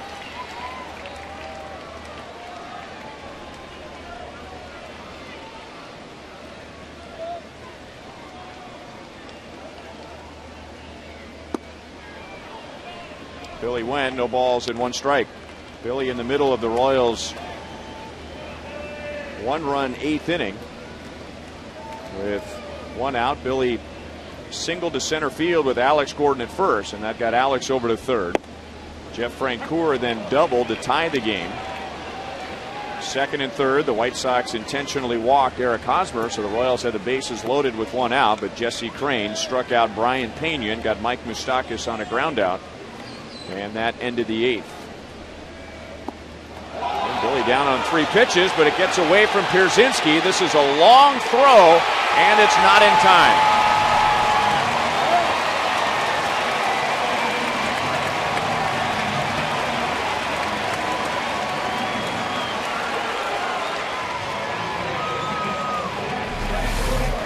That's a great slider from Sale right there underneath Billy's bat. It was so good because he couldn't hold on to it. And, and Billy helped him right out of the box as the ball got away and was able to beat this throw to first base. When Billy Butler reaches on a strikeout wild pitch in the 10th inning, you better win that game. I agree.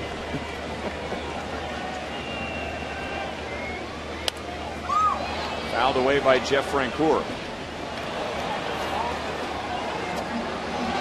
Francoeur tied the game with one out in the eighth inning. Uh, Jesse Crain left a breaking ball up out over the plate. He drove it into right center field and had a hustle double on that play.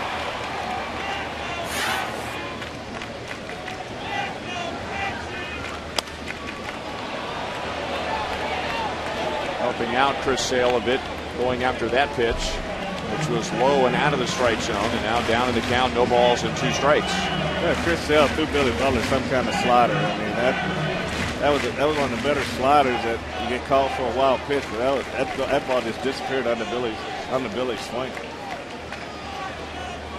Francoeur with just one career at bat against Sale, and he struck out. And that got him on the foot. There's taking one for the team. It's not what Francoeur was trying to do. So two gifts. A strikeout wild pitch and a hit batter with the count 0 2. I tried to get back in, in there with that slider again, but hit right on the uh, the left toe of Jeff Francoeur. That pitch hit everybody.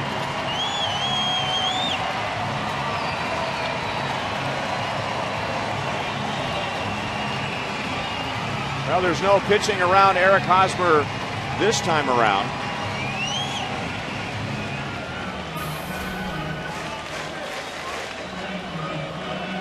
Hosmer on base all four times, two singles and two walks.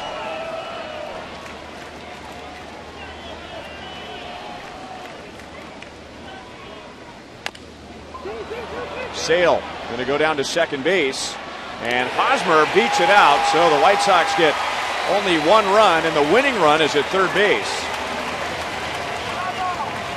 Well, that's not what Hosmer and the Royals were hoping for, but because of his hustle and because of Jeff Francoeur's slide, the White Sox get one out. And that's what the Royals base runners are doing. Francoeur goes in here hard on Vizquel and doesn't allow him to really get a good throw off the first base with a lot of zip on it.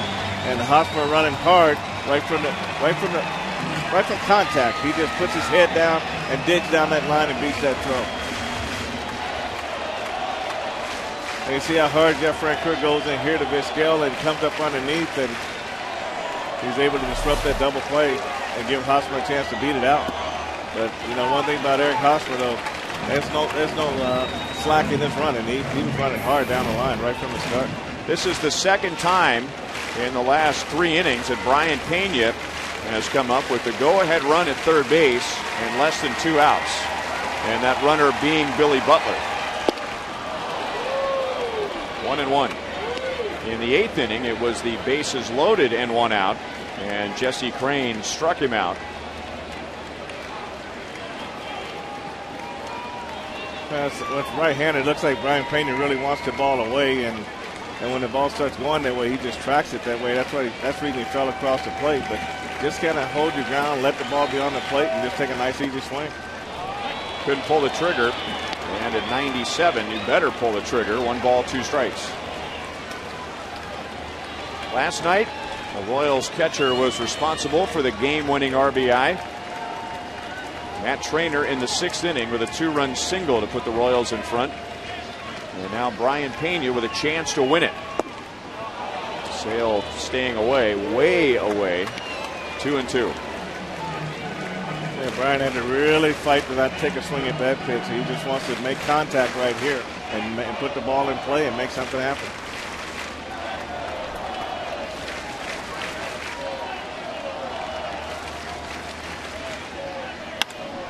Line foul.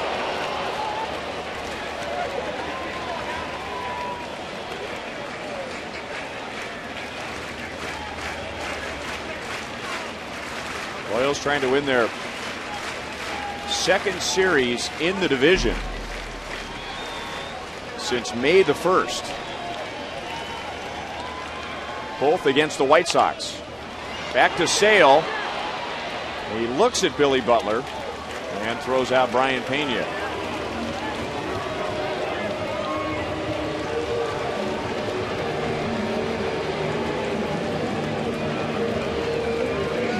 And once again, it's Mike Moustakas trying to pick up Brayan Pena.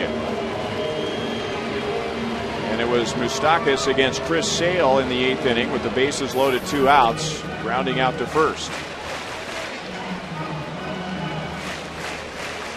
The Royals trying to get things going in the division. They have lost 16 of their last 20 against the division.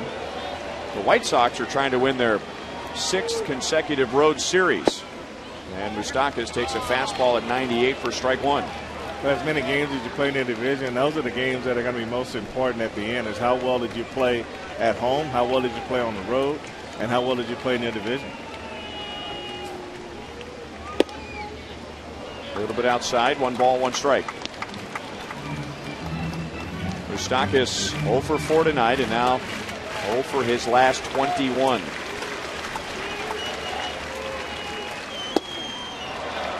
One and two. Well, that's a 98 mile an hour fastball moving in on your hands, and I don't know if Musa seen a lefty that throws that hard to this point.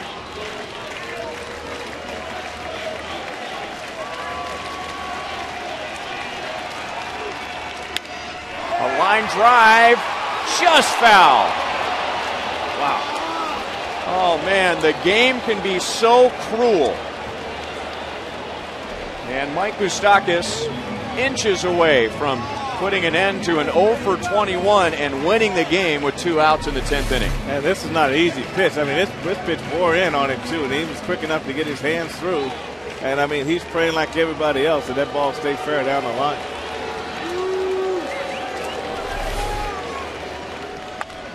And he pops it up.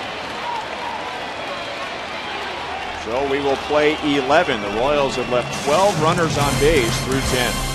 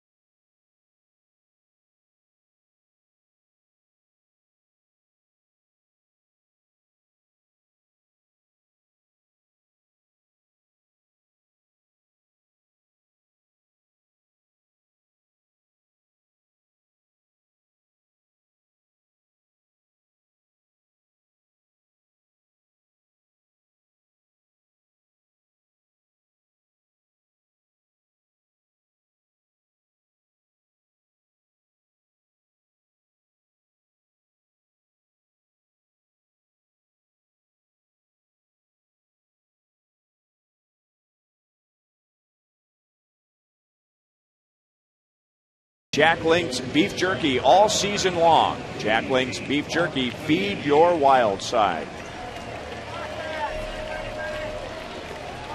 To the top of the 11th inning, and former Royal Mark Teahen will bat for Brent Morel with Aaron Crow on the mound. Crow pitched a scoreless 10, working around a one out single and a stolen base from Alex Rios. And a curveball in for a strike.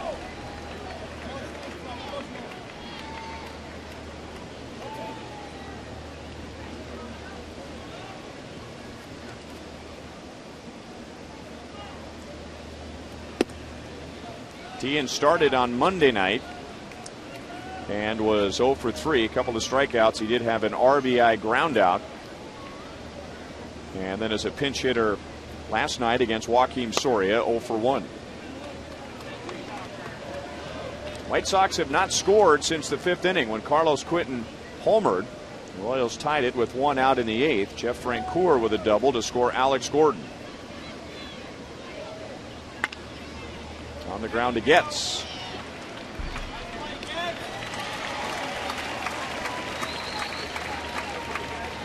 So Teahen 0 for 5 in the series, and now Aaron Crow will get the top of the order with Juan Pierre. Royals still have a chance to win it in the bottom of the 11th inning, but had a couple of great opportunities to have an even bigger inning in the eighth after they tied the game. They had the bases loaded, one out. And then in the 10th inning, runners at first and third and one out. Ball one to Pierre. One for four and has a 12 game hitting streak.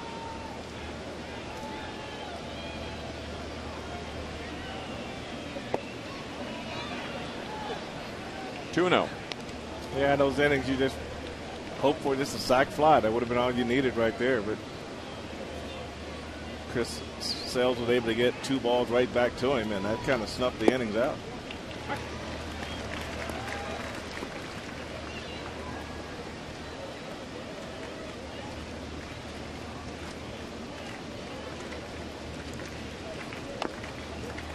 And now two balls and two strikes.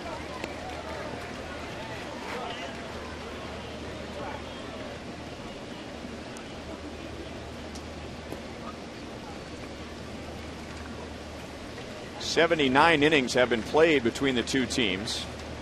This is the eighth game. The Royals have outscored the White Sox by one, 34 to 33.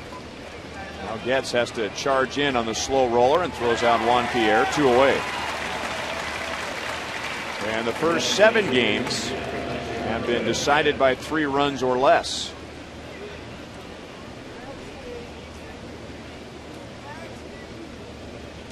Aaron Crow is going to pitch to Alexei Ramirez. Royals have tomorrow off, and then they will host the Tampa Bay Rays on Friday. Ozzie Guillen's team, after they leave Kansas City, also have the day off. They will have that in Cleveland. They'll play the Indians over the weekend, and the Tigers at the beginning of next week, wrapping up 19 consecutive games against the division.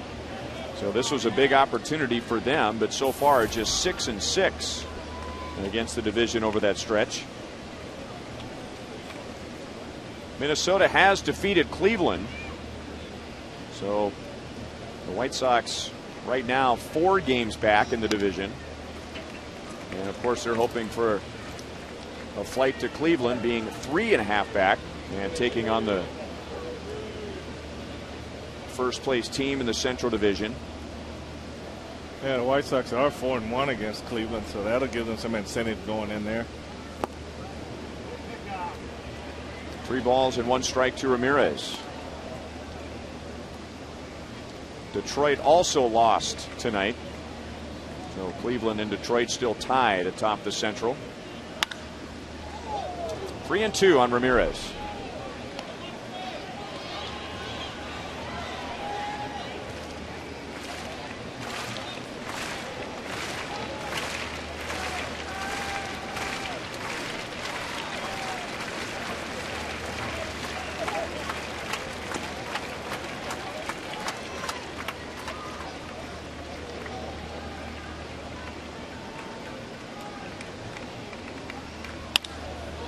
The end of the bat, Mitch Maier charging in and makes a nice sliding play on his knees.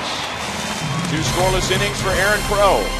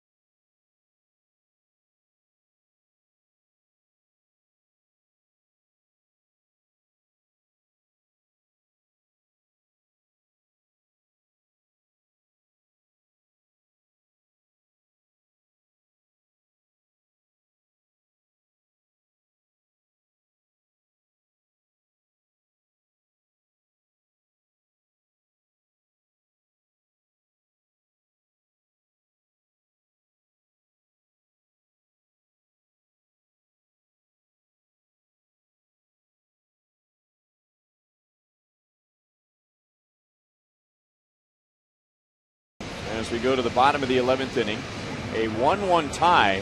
But look at the runners left on base. White Sox with four. That's in 11 at bats. The Royals with 12 in 10 at bats. A lot of those have been at crunch time, too, the last couple of innings. We left five men on base in the last couple of innings. So thank good for, good for Moose himself. It'll be Alcides Escobar, Chris Getz, and Alex Gordon in the 11th inning. Those three came up against Chris Sale in the ninth. Sale has gone two and a third. He has gone as many as three innings this year. That was back on May the 28th, and there is nobody warming up behind him, so Ozzie Guillen hoping for three and a third from him tonight.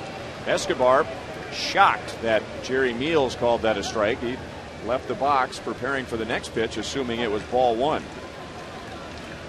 And if it is low on Foxtrax, chances are it was low because remember that grid is set up in front of the plate. Yes. So it was low before it hit the grid.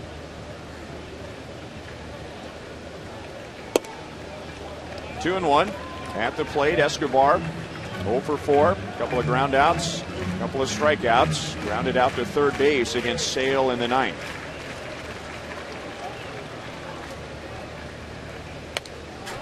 Good swing. Two balls, two strikes. Sale still running it up there in the mid to upper 90s.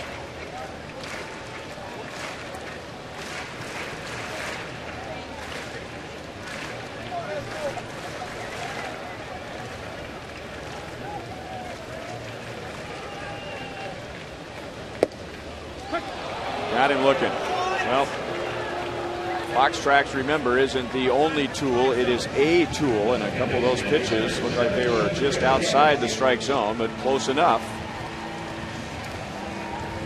So one away, and now Chris Getz against Chris Sale.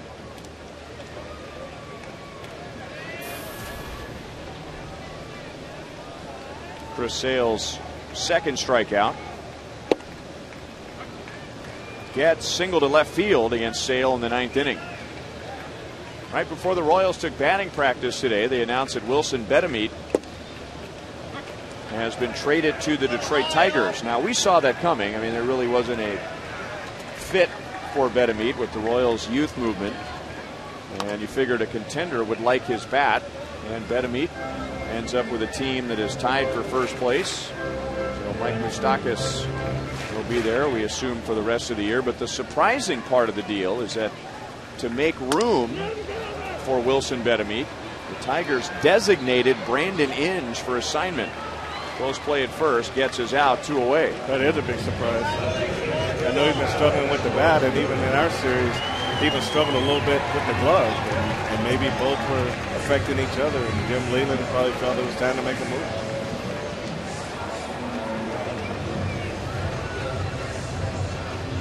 Brandon Inge, by the way, is signed through next year.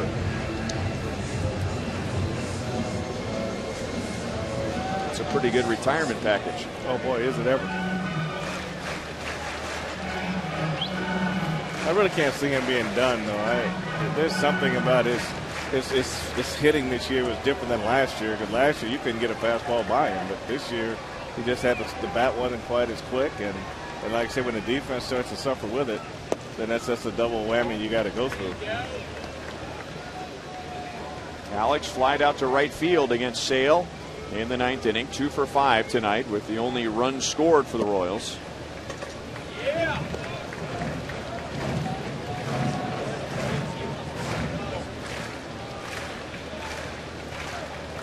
White Sox scored in the fifth. Royals scored in the eighth.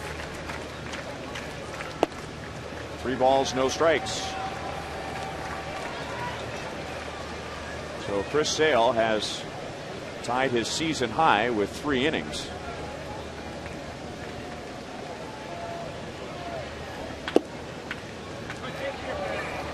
Once again, very close. Three and one.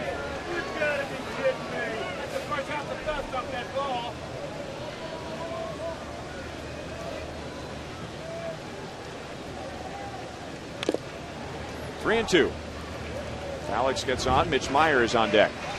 I say they call one down there, then you're more apt to chase the next one down there. So both pitches on the same plane on the grid.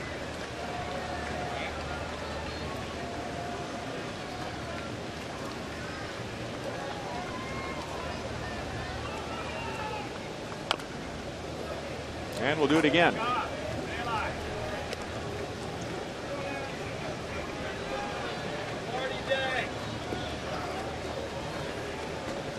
If we go to the 12th inning, Greg Holland appears to be preparing for that inning. Aaron Crow has thrown two scoreless innings, 24 pitches. White Sox have Paul Konerko, Carlos Quentin, and A.J. Pierzynski scheduled to hit.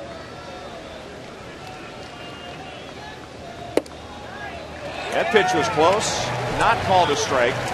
So the winning run down at first base with two outs.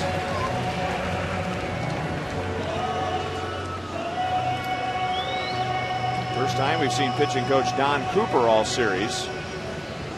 So Mitch Maier comes to the plate. He made this play for the final out of the top of the 11th. That's a nice running catch. He just slides right on his knees and and takes this play away. When Mitch in the game, you're always going to see something good that he does, and this is one play here. Great jump on this on this fly ball. Makes a nice catch.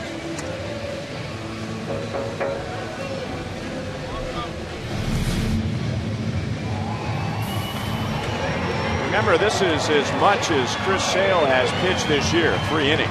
And the last time he did that was back on May the 28th. So Don Cooper, just to make sure he still has some fuel left in the tank.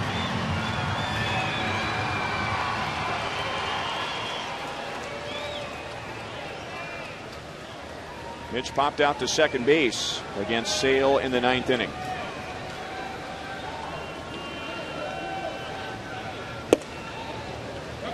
Throwing 95, 0 1. He's got that arm angle to a lefty that really looks difficult to stay with him. And when he runs that ball to the other side of the plate, he gets there in a, in a hurry. Maier, shallow right center field. Alex will go first to third as Rios gets it back to the infield. And now a chance for Billy Butler to win the game. He is peeking over at the White Sox dugout to see what they do.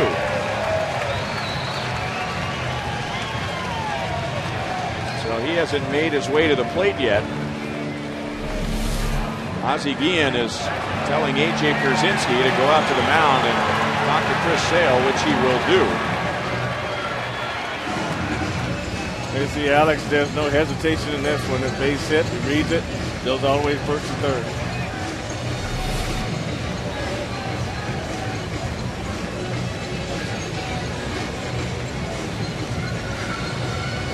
The White Sox closer Sergio Santos to face Billy Butler with the winning run at third base.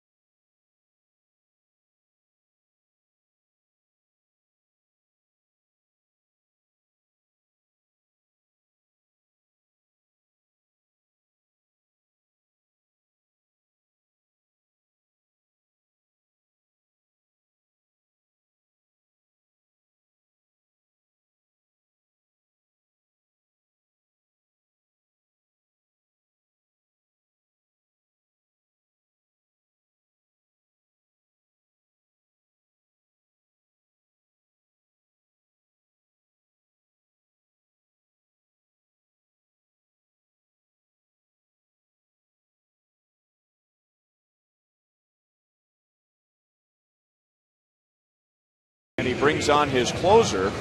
Not trying to close out the game, but close out the inning. And he comes on with runners at first and third and two down. With two outs and nobody on, the Royals getting a walk from Alex Gordon, a base hit from Mitch Maier, setting up Santos and Billy Butler. Well, Santos is pretty tough, Ryan. He, he's limited right-handed hitters to 118 batting average, you know, with 35 strikeouts.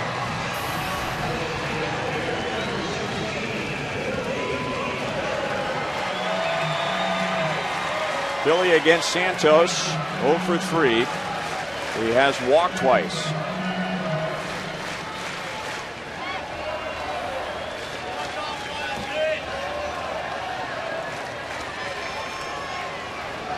The Royals have already left 12 runners on base, including six in the previous three innings. Slider is down and away, ball one. The White Sox have really, and you don't see this very often, but they've really had Billy chasing sliders down and away, and not just barely out of the strike zone, but quite a ways out of the strike zone. But it makes you wonder if Billy's getting him a little bit more thinking of pulling the ball and he's chasing these pitches away. Normally he lays off with those pitches. There's a slider, wasn't down and away, it was over the plate and low. One and one. And the way this game works, if the catcher, the pitching coach, the pitchers, the scouts, they pick up a tendency, they're just going to hammer you with that over and over again until the hitter makes an adjustment. Well, you're right, and then they throw the fastball in off the plate and try to jam it, but then go away again until he starts to lay off with those pitches. Almost took one on the chin. It was a slider. It just got away from Santos. Yeah, just backed up on him. It didn't come across the plate, and 84 miles an hour, and that that's one that a hitter you realize that it wasn't a fastball, and you just get back in there and you just don't put anything else in your head, but just continue to try to hit.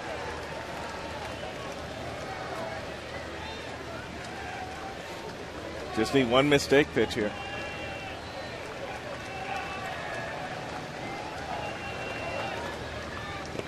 There it is, a slider down and away. Here comes Alex to the plate, and the Royals win it on a wild pitch.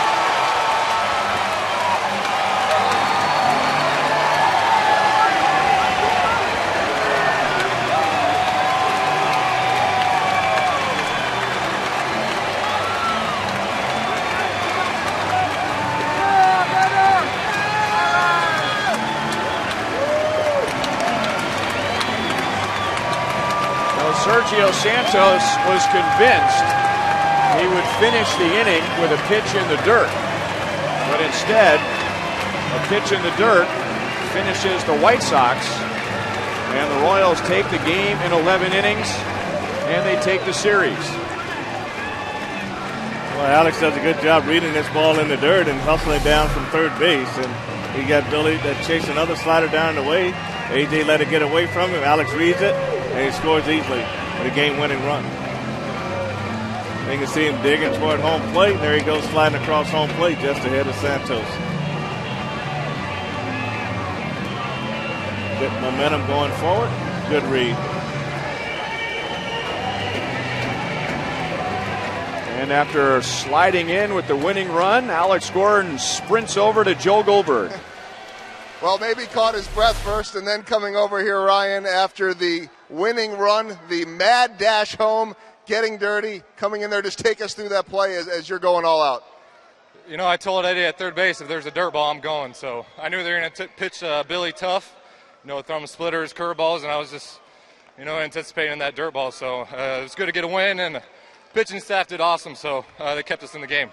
You guys battle back against a real tough pitcher. John Danks had a good night, able to finally climb back into this thing. Talk about that perseverance. Yeah, both sides pitched well, and you know it was a tough game, and uh, we never stopped trying. And uh, it was late in the game, and uh, we were able to get a run, and bullpen came in and do the job, and you know kept us in the game. And these games like this, it's really the pitching that gets you gets you the win. So uh, got to give credit to them. You guys have had walk-offs in all kinds of ways this year. Maybe not quite like this, but yet the dugout real fired up. I mean, can you sense just just the excitement after these last couple of days trying to turn things around? Yeah, well, we had a uh, balk against Chicago a while ago to walk off, so we we owed them one. Only appropriate that it ends this way. I was thinking about that. The somewhat questionable walk-off balk, so this one's got to feel like some payback. Yeah, it's just good to get a win, uh, walk off. Uh, great job. Uh, Billy did a good job laying off it and uh, able to get in there. So. So a night that you end up running home and Billy ends up getting the first on a wild pitch on the strikeout. Yeah, you just hustle. You know, play this game hard and good things happen. Nicely said. Thanks, Alex. That is Alex Gordon as he wins it. Guys, I was going to bring up the balk off a couple of weeks ago. Alex making it a point to bring that up before. Guys? So still fresh in the Royals' minds, and now they've won back-to-back series against the White Sox. A slider in the dirt and a slider across home plate.